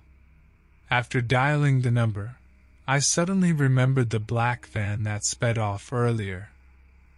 Not wanting to alert the potential antagonists that we were onto their trail and getting authorities involved, I hung up before the call connected. If they were somehow watching us, calling for help might put us in more danger or provoke more horrific acts. With no time left for contemplation, I sprinted back to where I left Clarice hiding near the truck cab. Her teary eyes searched for information as she asked about John. He didn't make it, was all I could say while avoiding a graphic recount of what had unfolded. Together, we formulated a plan to arm ourselves as best as possible and gather some bits of evidence from the scene without further disturbing it. Perhaps some footprints or stray materials could lead us closer to who was truly behind this horror. As we examined the area near John's mutilated remains and gathered any pertinent information, we noticed an abandoned smartphone nearby, most likely Johnny's. Although cracked from the impact with pavement or other forces applied during his grisly murder, its contents might be our best chance of tracking down his killer. We salvaged what information we could from its unlocked interface, notably recently called numbers and text messages exchanged with unknown individuals displaying odd and sinister intentions. Attempting to decipher meaning from the fragmented messages, we noticed a repeated name Walter. With nothing else to go on, we surmised that Walter must be the one we were hunting, but admittingly we had little to work with for a definitive conclusion just yet. Armed with the limited information from John's phone, and fear fueling our determination, we silently vowed to bring these brutal criminals to justice. both as fellow trucking professionals and for John's memory. We spent the next few days meticulously analyzing every lead, from following trails of phone calls and text messages to investigating remote areas where the murderers might strike next. However, despite our best efforts, it seemed Walter was elusive as a ghost. The only constant among our findings was that he was incredibly dangerous and intelligent, always staying a step ahead of us. A few days passed with no sightings or encounters with Walter nor his associates. The tension in the air was palpable as uncertainty about the future loomed over us like an ominous cloud. As Clarice and I prepared to leave yet another crime scene without concrete answers, we received an anonymous text message. I'm watching. You cannot stop me. Chills ran through us upon reading those taunting words. It seemed Walter was aware of our investigation. Would Walter come for us now? We had no way of knowing. However, we knew we could not let fear paralyze us into submission. We would continue searching diligently, no matter how close danger lurked nearby. But as night fell and darkness threatened to envelope any hope for resolve, I couldn't help but wonder if we were making progress on this grim investigation or just drifting deeper into a world from which there would be no escape.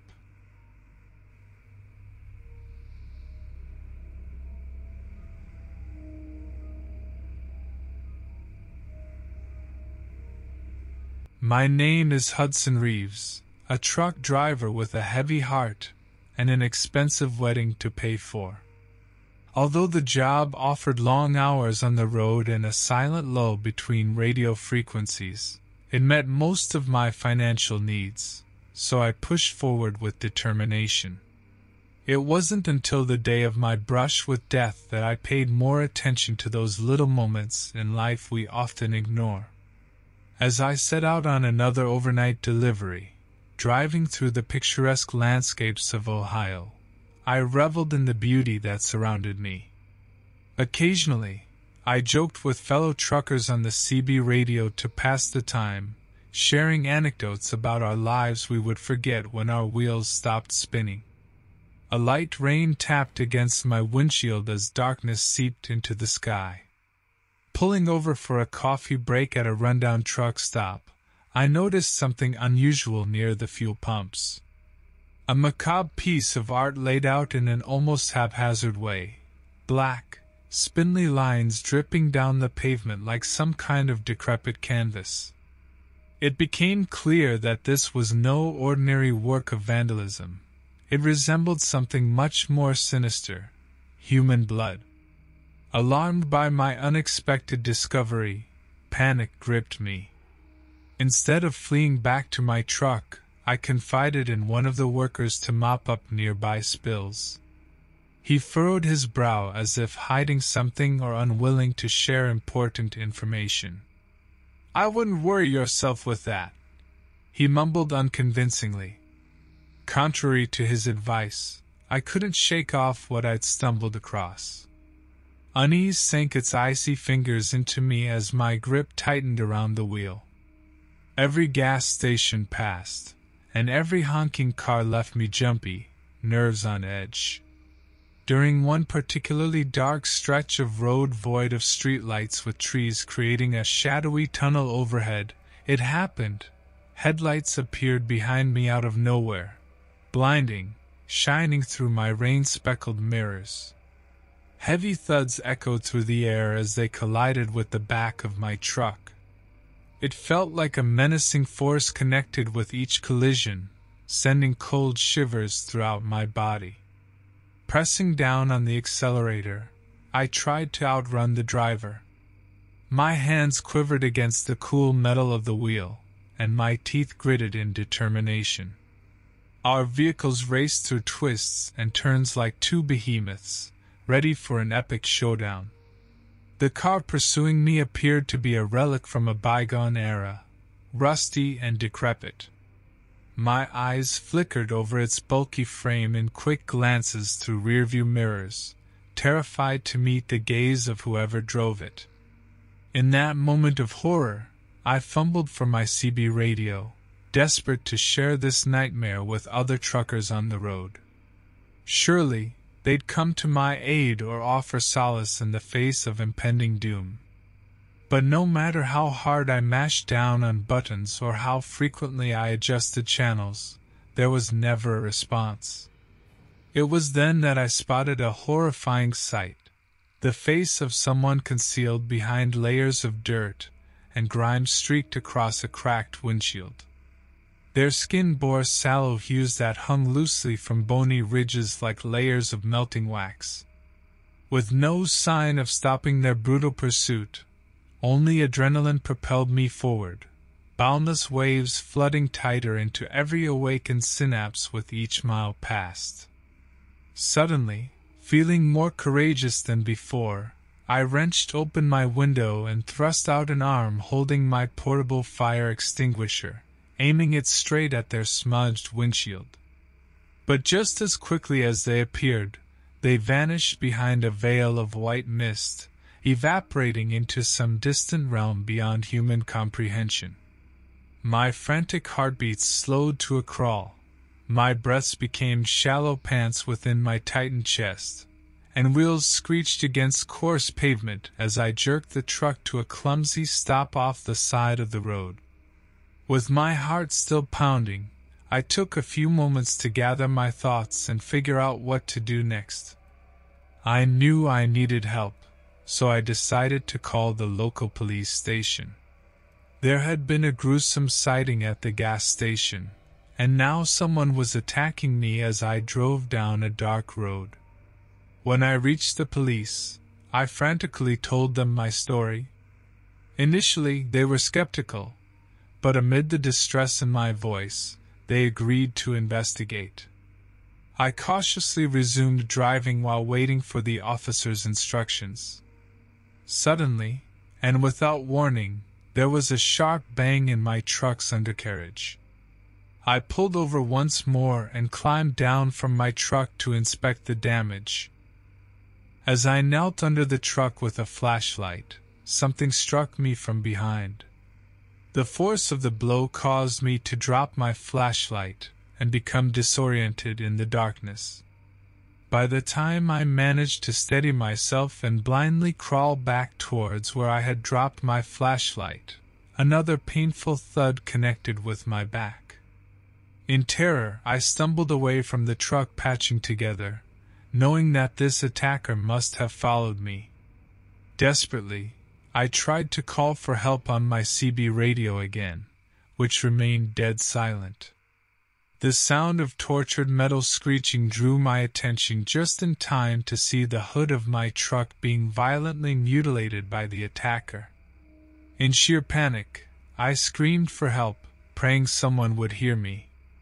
Luckily for me, two other truckers that had been driving some distance behind us caught up and witnessed what was happening. They stopped their trucks and ran towards me with tire irons and crowbars in hand. Together, we fought ferociously against our seemingly supernatural attacker. But soon enough, we noticed it wasn't just one person but rather three different men who were relentless and methodical in their attacks. We fended off these crazed men until they abruptly retreated into the darkness. Gasping for breath, we took a closer look at the havoc they'd wreaked. Our trucks were damaged, and we all bore marks of assault. Later that day at the station, we found out that these men were part of a sadistic, violent gang known as the Rippers. They were notorious for using knives and blunt objects to terrorize truck drivers, dismembering people in some cases. The police had been searching for them for months, but no one had survived an encounter with them long enough to provide a proper description. We had collectively managed to unmask our attackers' identities and motives, yet they remained at large, unfazed by the police force's efforts. As my life returned to some semblance of normalcy, I couldn't help but wonder what happened to those three men. The Rippers continued to commit their gruesome acts without ever being caught or killed. All I could do was hope that someday the innocent lives lost at their hands would find justice and peace as I went on with my life, forever scarred by that chilling experience. However, with each passing night on the road, shadows lurking along dark stretches haunted me, always recalling back to that eerie encounter. How, why? Would remain questions swirling through my conscience for years to come.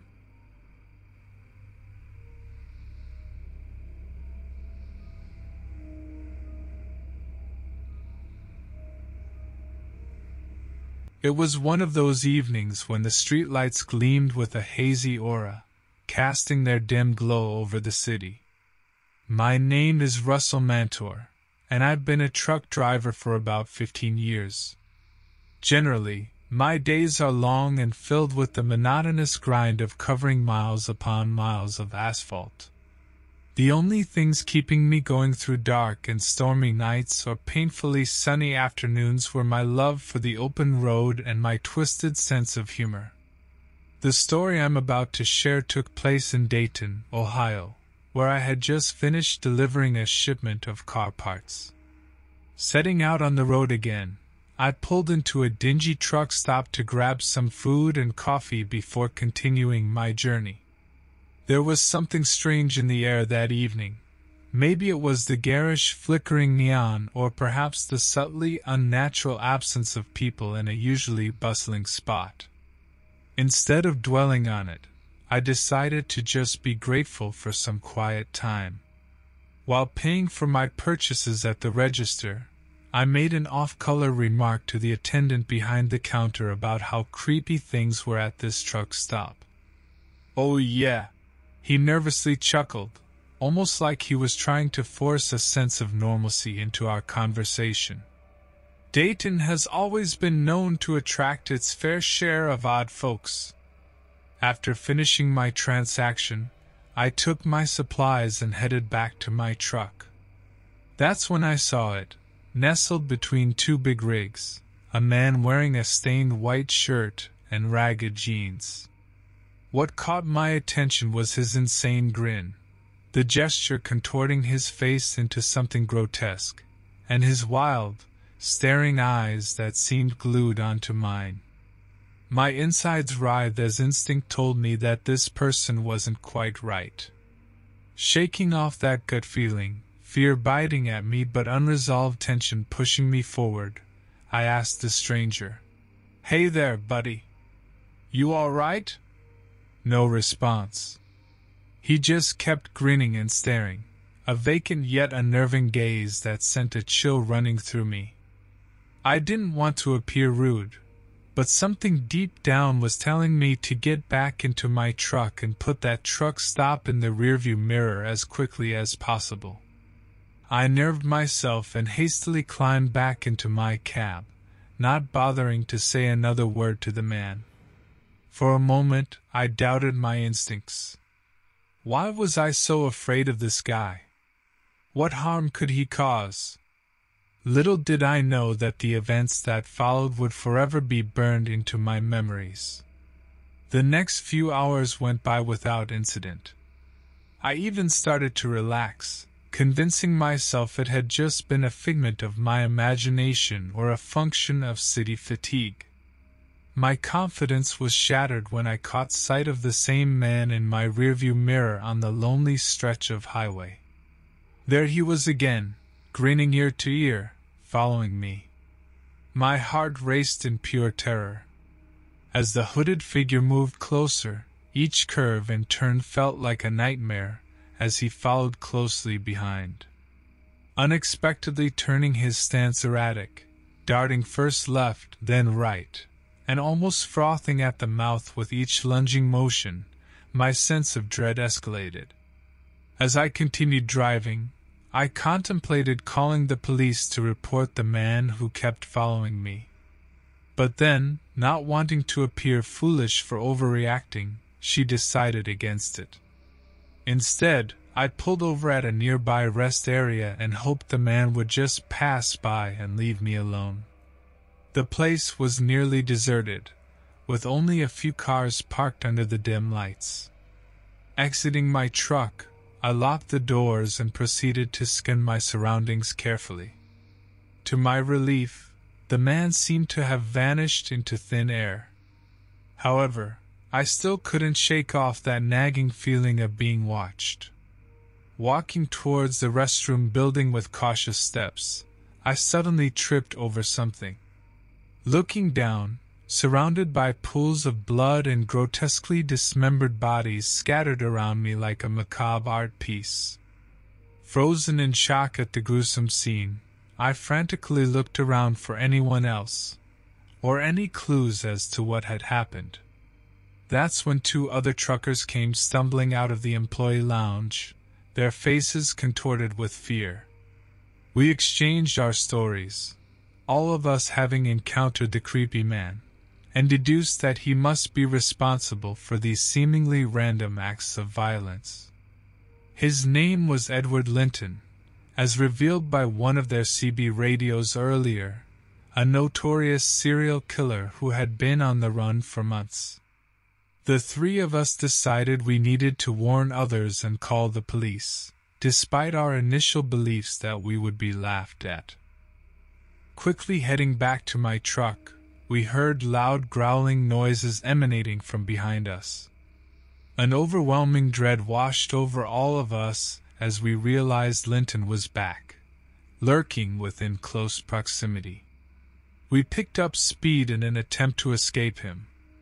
Before we could reach my truck, though, Linton emerged from behind an old, rusty trailer, his scarred face twisted into an even more malicious grin than before.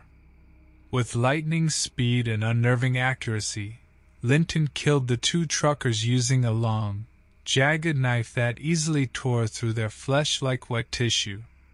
Their screams were cut short as their throats gushed out crimson streams before they collapsed to the ground.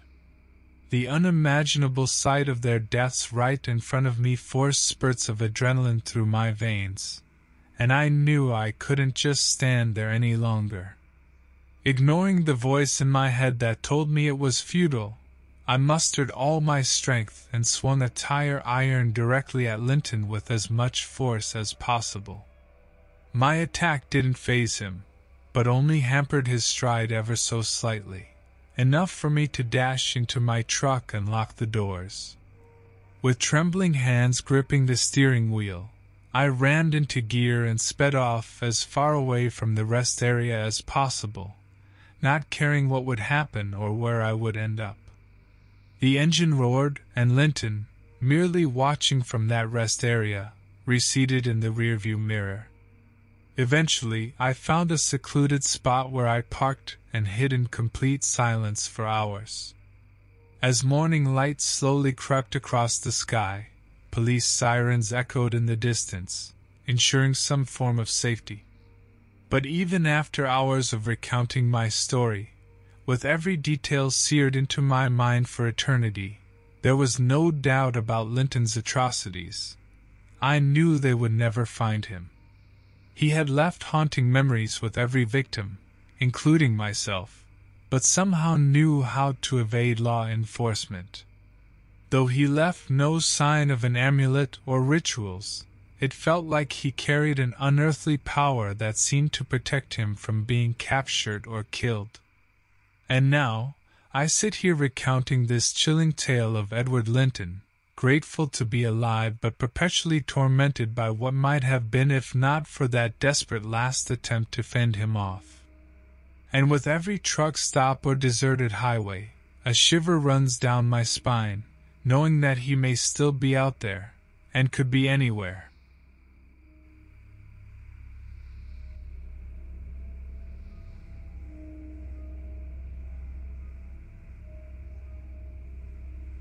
I was easing into my third year as a truck driver when it happened. I got assigned to pick up a heavy shipment from a warehouse in Edgar, Nebraska, and deliver it across state lines by dawn the next day. My name is Clayton Bowser, and I've been driving big rigs for years, seeing everything from roadkill to reckless drivers in my time. but nothing prepared me for the harrowing encounter in that town. The trip started out smooth as silk until I reached Eddington Gas Station, about 20 minutes away from the warehouse. While I was pumping gas into my rig, a man with long and frizzy hair approached me. He seemed like a local and asked me if I could lend him some cash for food. Sorry, pal. I chuckled nervously. I'm spending all my gas money right here. That's when I noticed his eyes. They were bright blue but almost unnaturally wide. Owing to my gut feeling about this man, I quickly finished pumping gas and drove off toward the warehouse. When I reached the warehouse, it had already begun its slow descent into darkness. The sun set first, painting orange streaks across the cloud heavy sky as lamps flickered on one by one. The hum of fluorescent lights filled the air as employees bustled around, preparing their truck loads. I signed some paperwork and soon backed my rig up to the loading bay. As workers began loading pallets onto my truck, an uneasy feeling crept over me. I glanced around and then noticed the chilling sight. That man from the gas station was standing just beyond the fence surrounding the property. He wasn't approaching anyone or doing anything too creepy. He just stood there, gazing intently at what was happening. My instincts urged me to call security or inform someone about this man's suspicious appearance near the warehouse. But when our eyes met again through that fence, his piercing gaze rooted me in place. I pretended I didn't see him, climbed back into my rig, and slammed the door. The next five hours were filled with anxiety and anticipation. My grip tightened on the wheel, and I felt my jaw go tense every time I glanced into the rearview mirror. Unfortunately, bad weather moved in, dressing the landscape in sheets of rain that fell with increasing fury. Many exits and turns later, illuminated by frequent flashes of lightning, I was stopped at a red traffic light in a seemingly deserted area. As streams of water raced down the windshield, my mind wandered over what seemed like hundreds of possibilities involving that man from Edgar. Suddenly, out of the corner of my eye, I saw him sludging through heavy rain toward the driver's side door of my truck. Terrified, I attempted to call for help but realized there was no cell reception here. Out of options, I gunned it through the now green light and maneuvered with all my might, trying to lose him. Taking sudden hairpin bends on abandoned streets and breaking all regulations in an effort to escape my pursuer. For several minutes, sheer adrenaline kept me going. An unexpected flash flood at an intersection forced me to stop abruptly.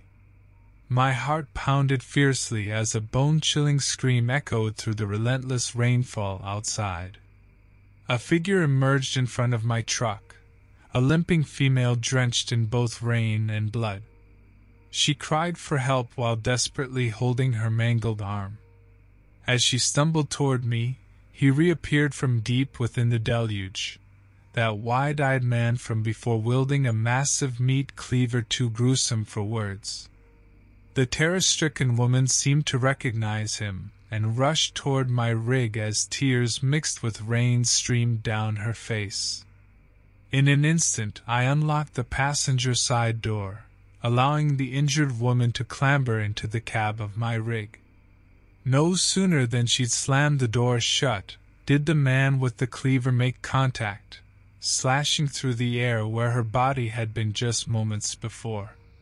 Her eyes brimmed with terror as I tromped on the gas, tearing away from the flooded intersection and our ghastly pursuer. We drove in silence as I tried to steady my breathing and focus on the road. The woman tended to her mangled arm, using a rag from my glove compartment to wrap it tightly. Though she was clearly in pain and shock, she mustered the strength to whisper a thank you. What's your name? I asked her hesitantly. Audrey, she replied weakly. All right, Audrey. We need to call for help. I dialed 911 only to find that there was still no cell reception.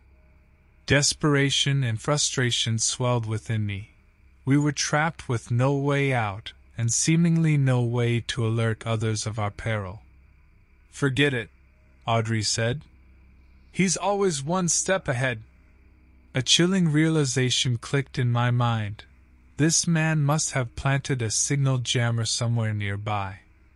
Having dealt with electronic components for most of my career, this notion seemed more plausible than anything else that entered my thoughts. As we reached a clearing away from flooded streets, we spotted a small police station on our route.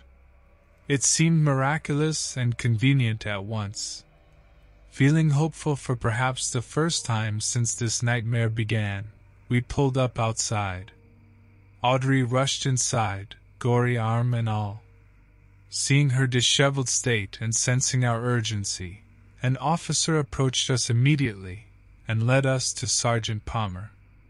As we recounted our ordeal with shaky voices, Palmer typed away on his computer system, attempting to locate information about our attacker.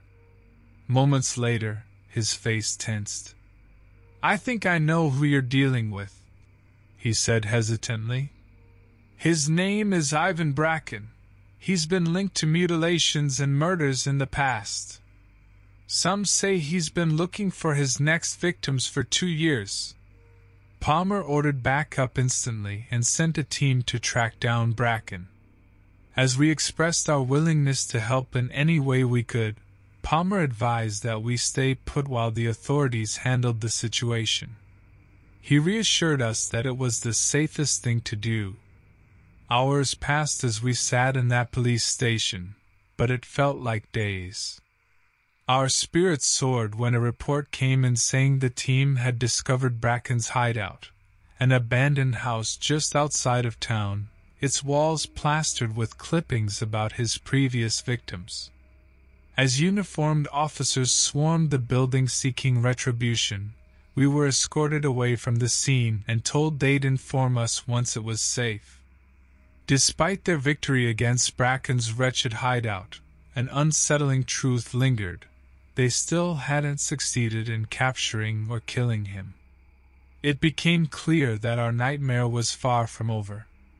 With every twist, turn, and drop of blood I continued transporting that heavy shipment throughout my remaining days as a truck driver, always wary of who might be lurking just beyond the horizon.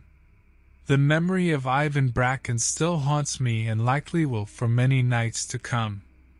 Would he reappear when we least expected it? Would our fates become part of his long lasting legacy? Though these questions remained unanswered, one certainty persisted. Ivan Bracken's reign was not yet over. And somehow, I knew neither Audrey nor I would ever truly escape his grisly grip.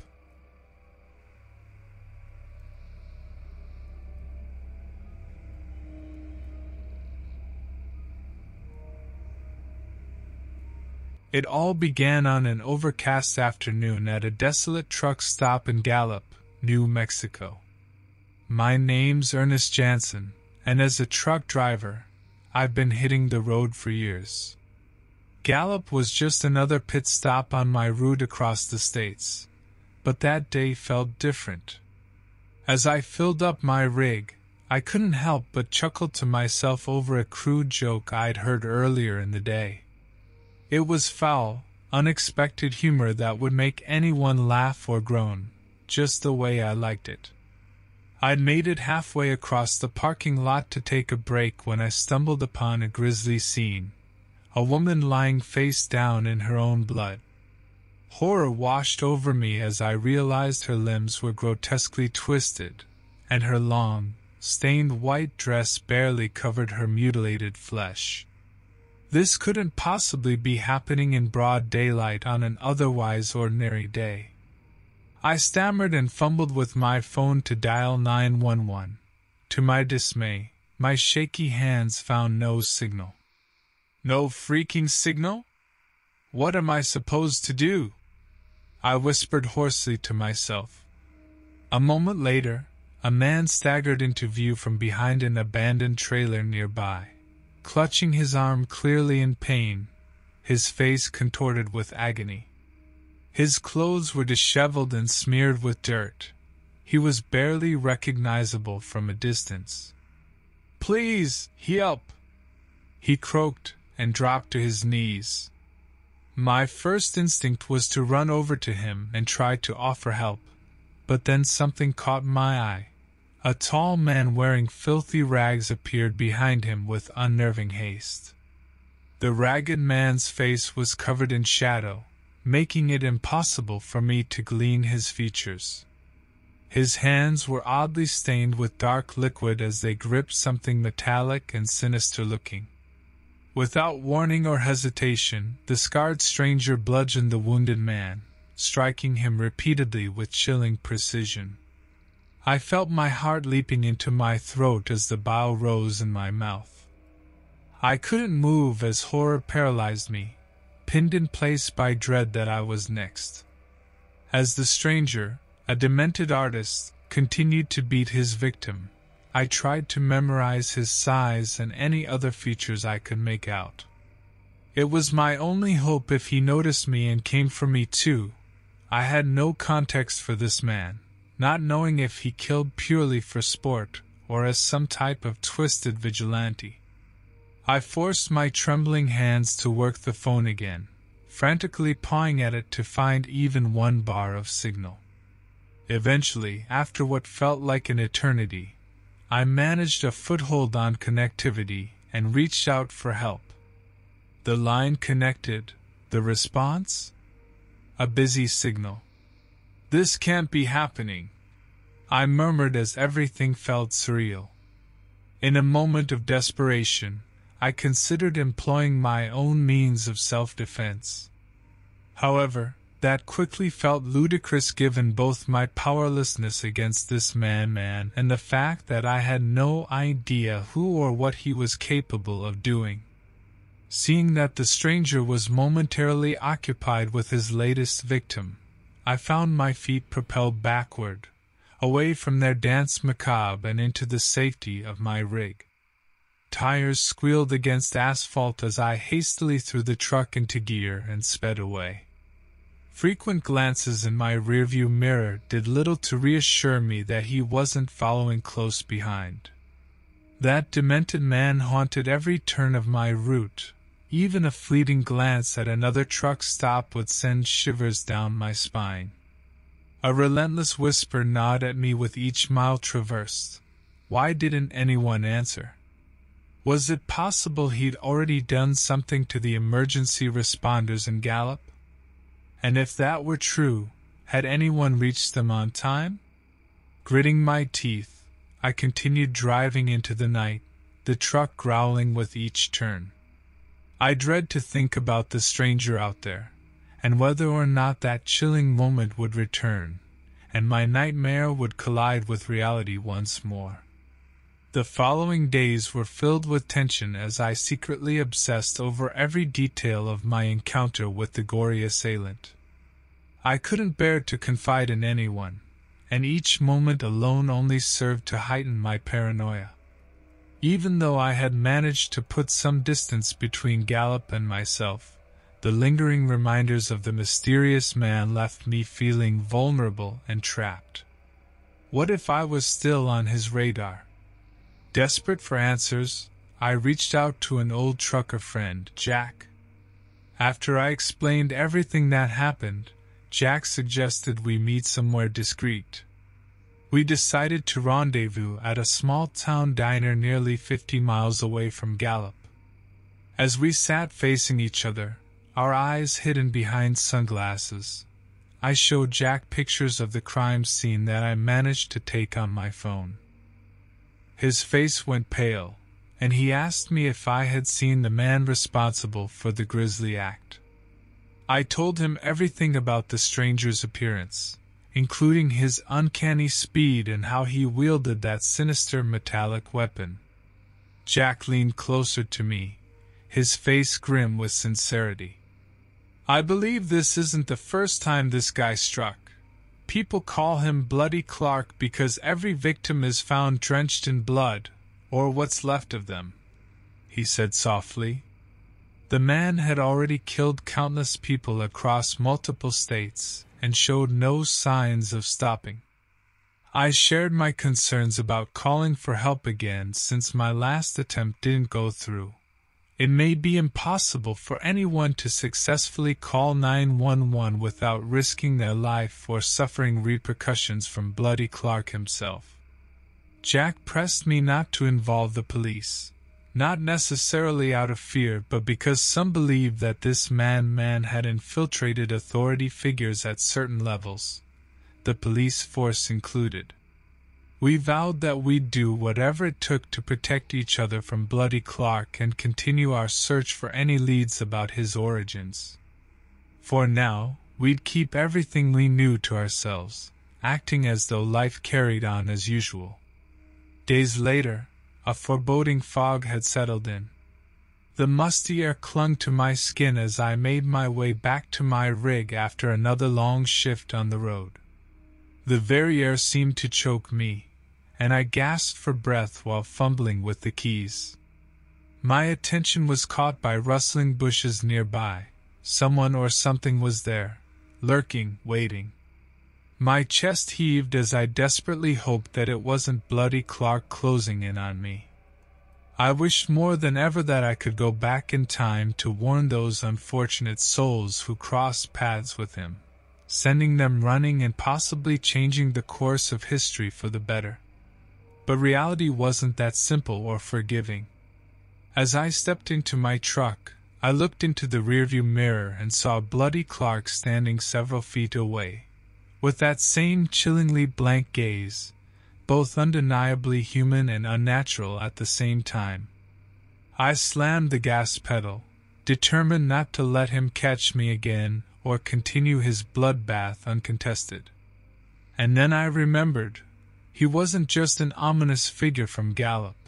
He was now part of my existence, inescapable and eternal. He'd haunt me no matter where I went or how far I tried to flee. The unnerving thought loomed over me like a grim shadow as the fog began to settle heavily once more.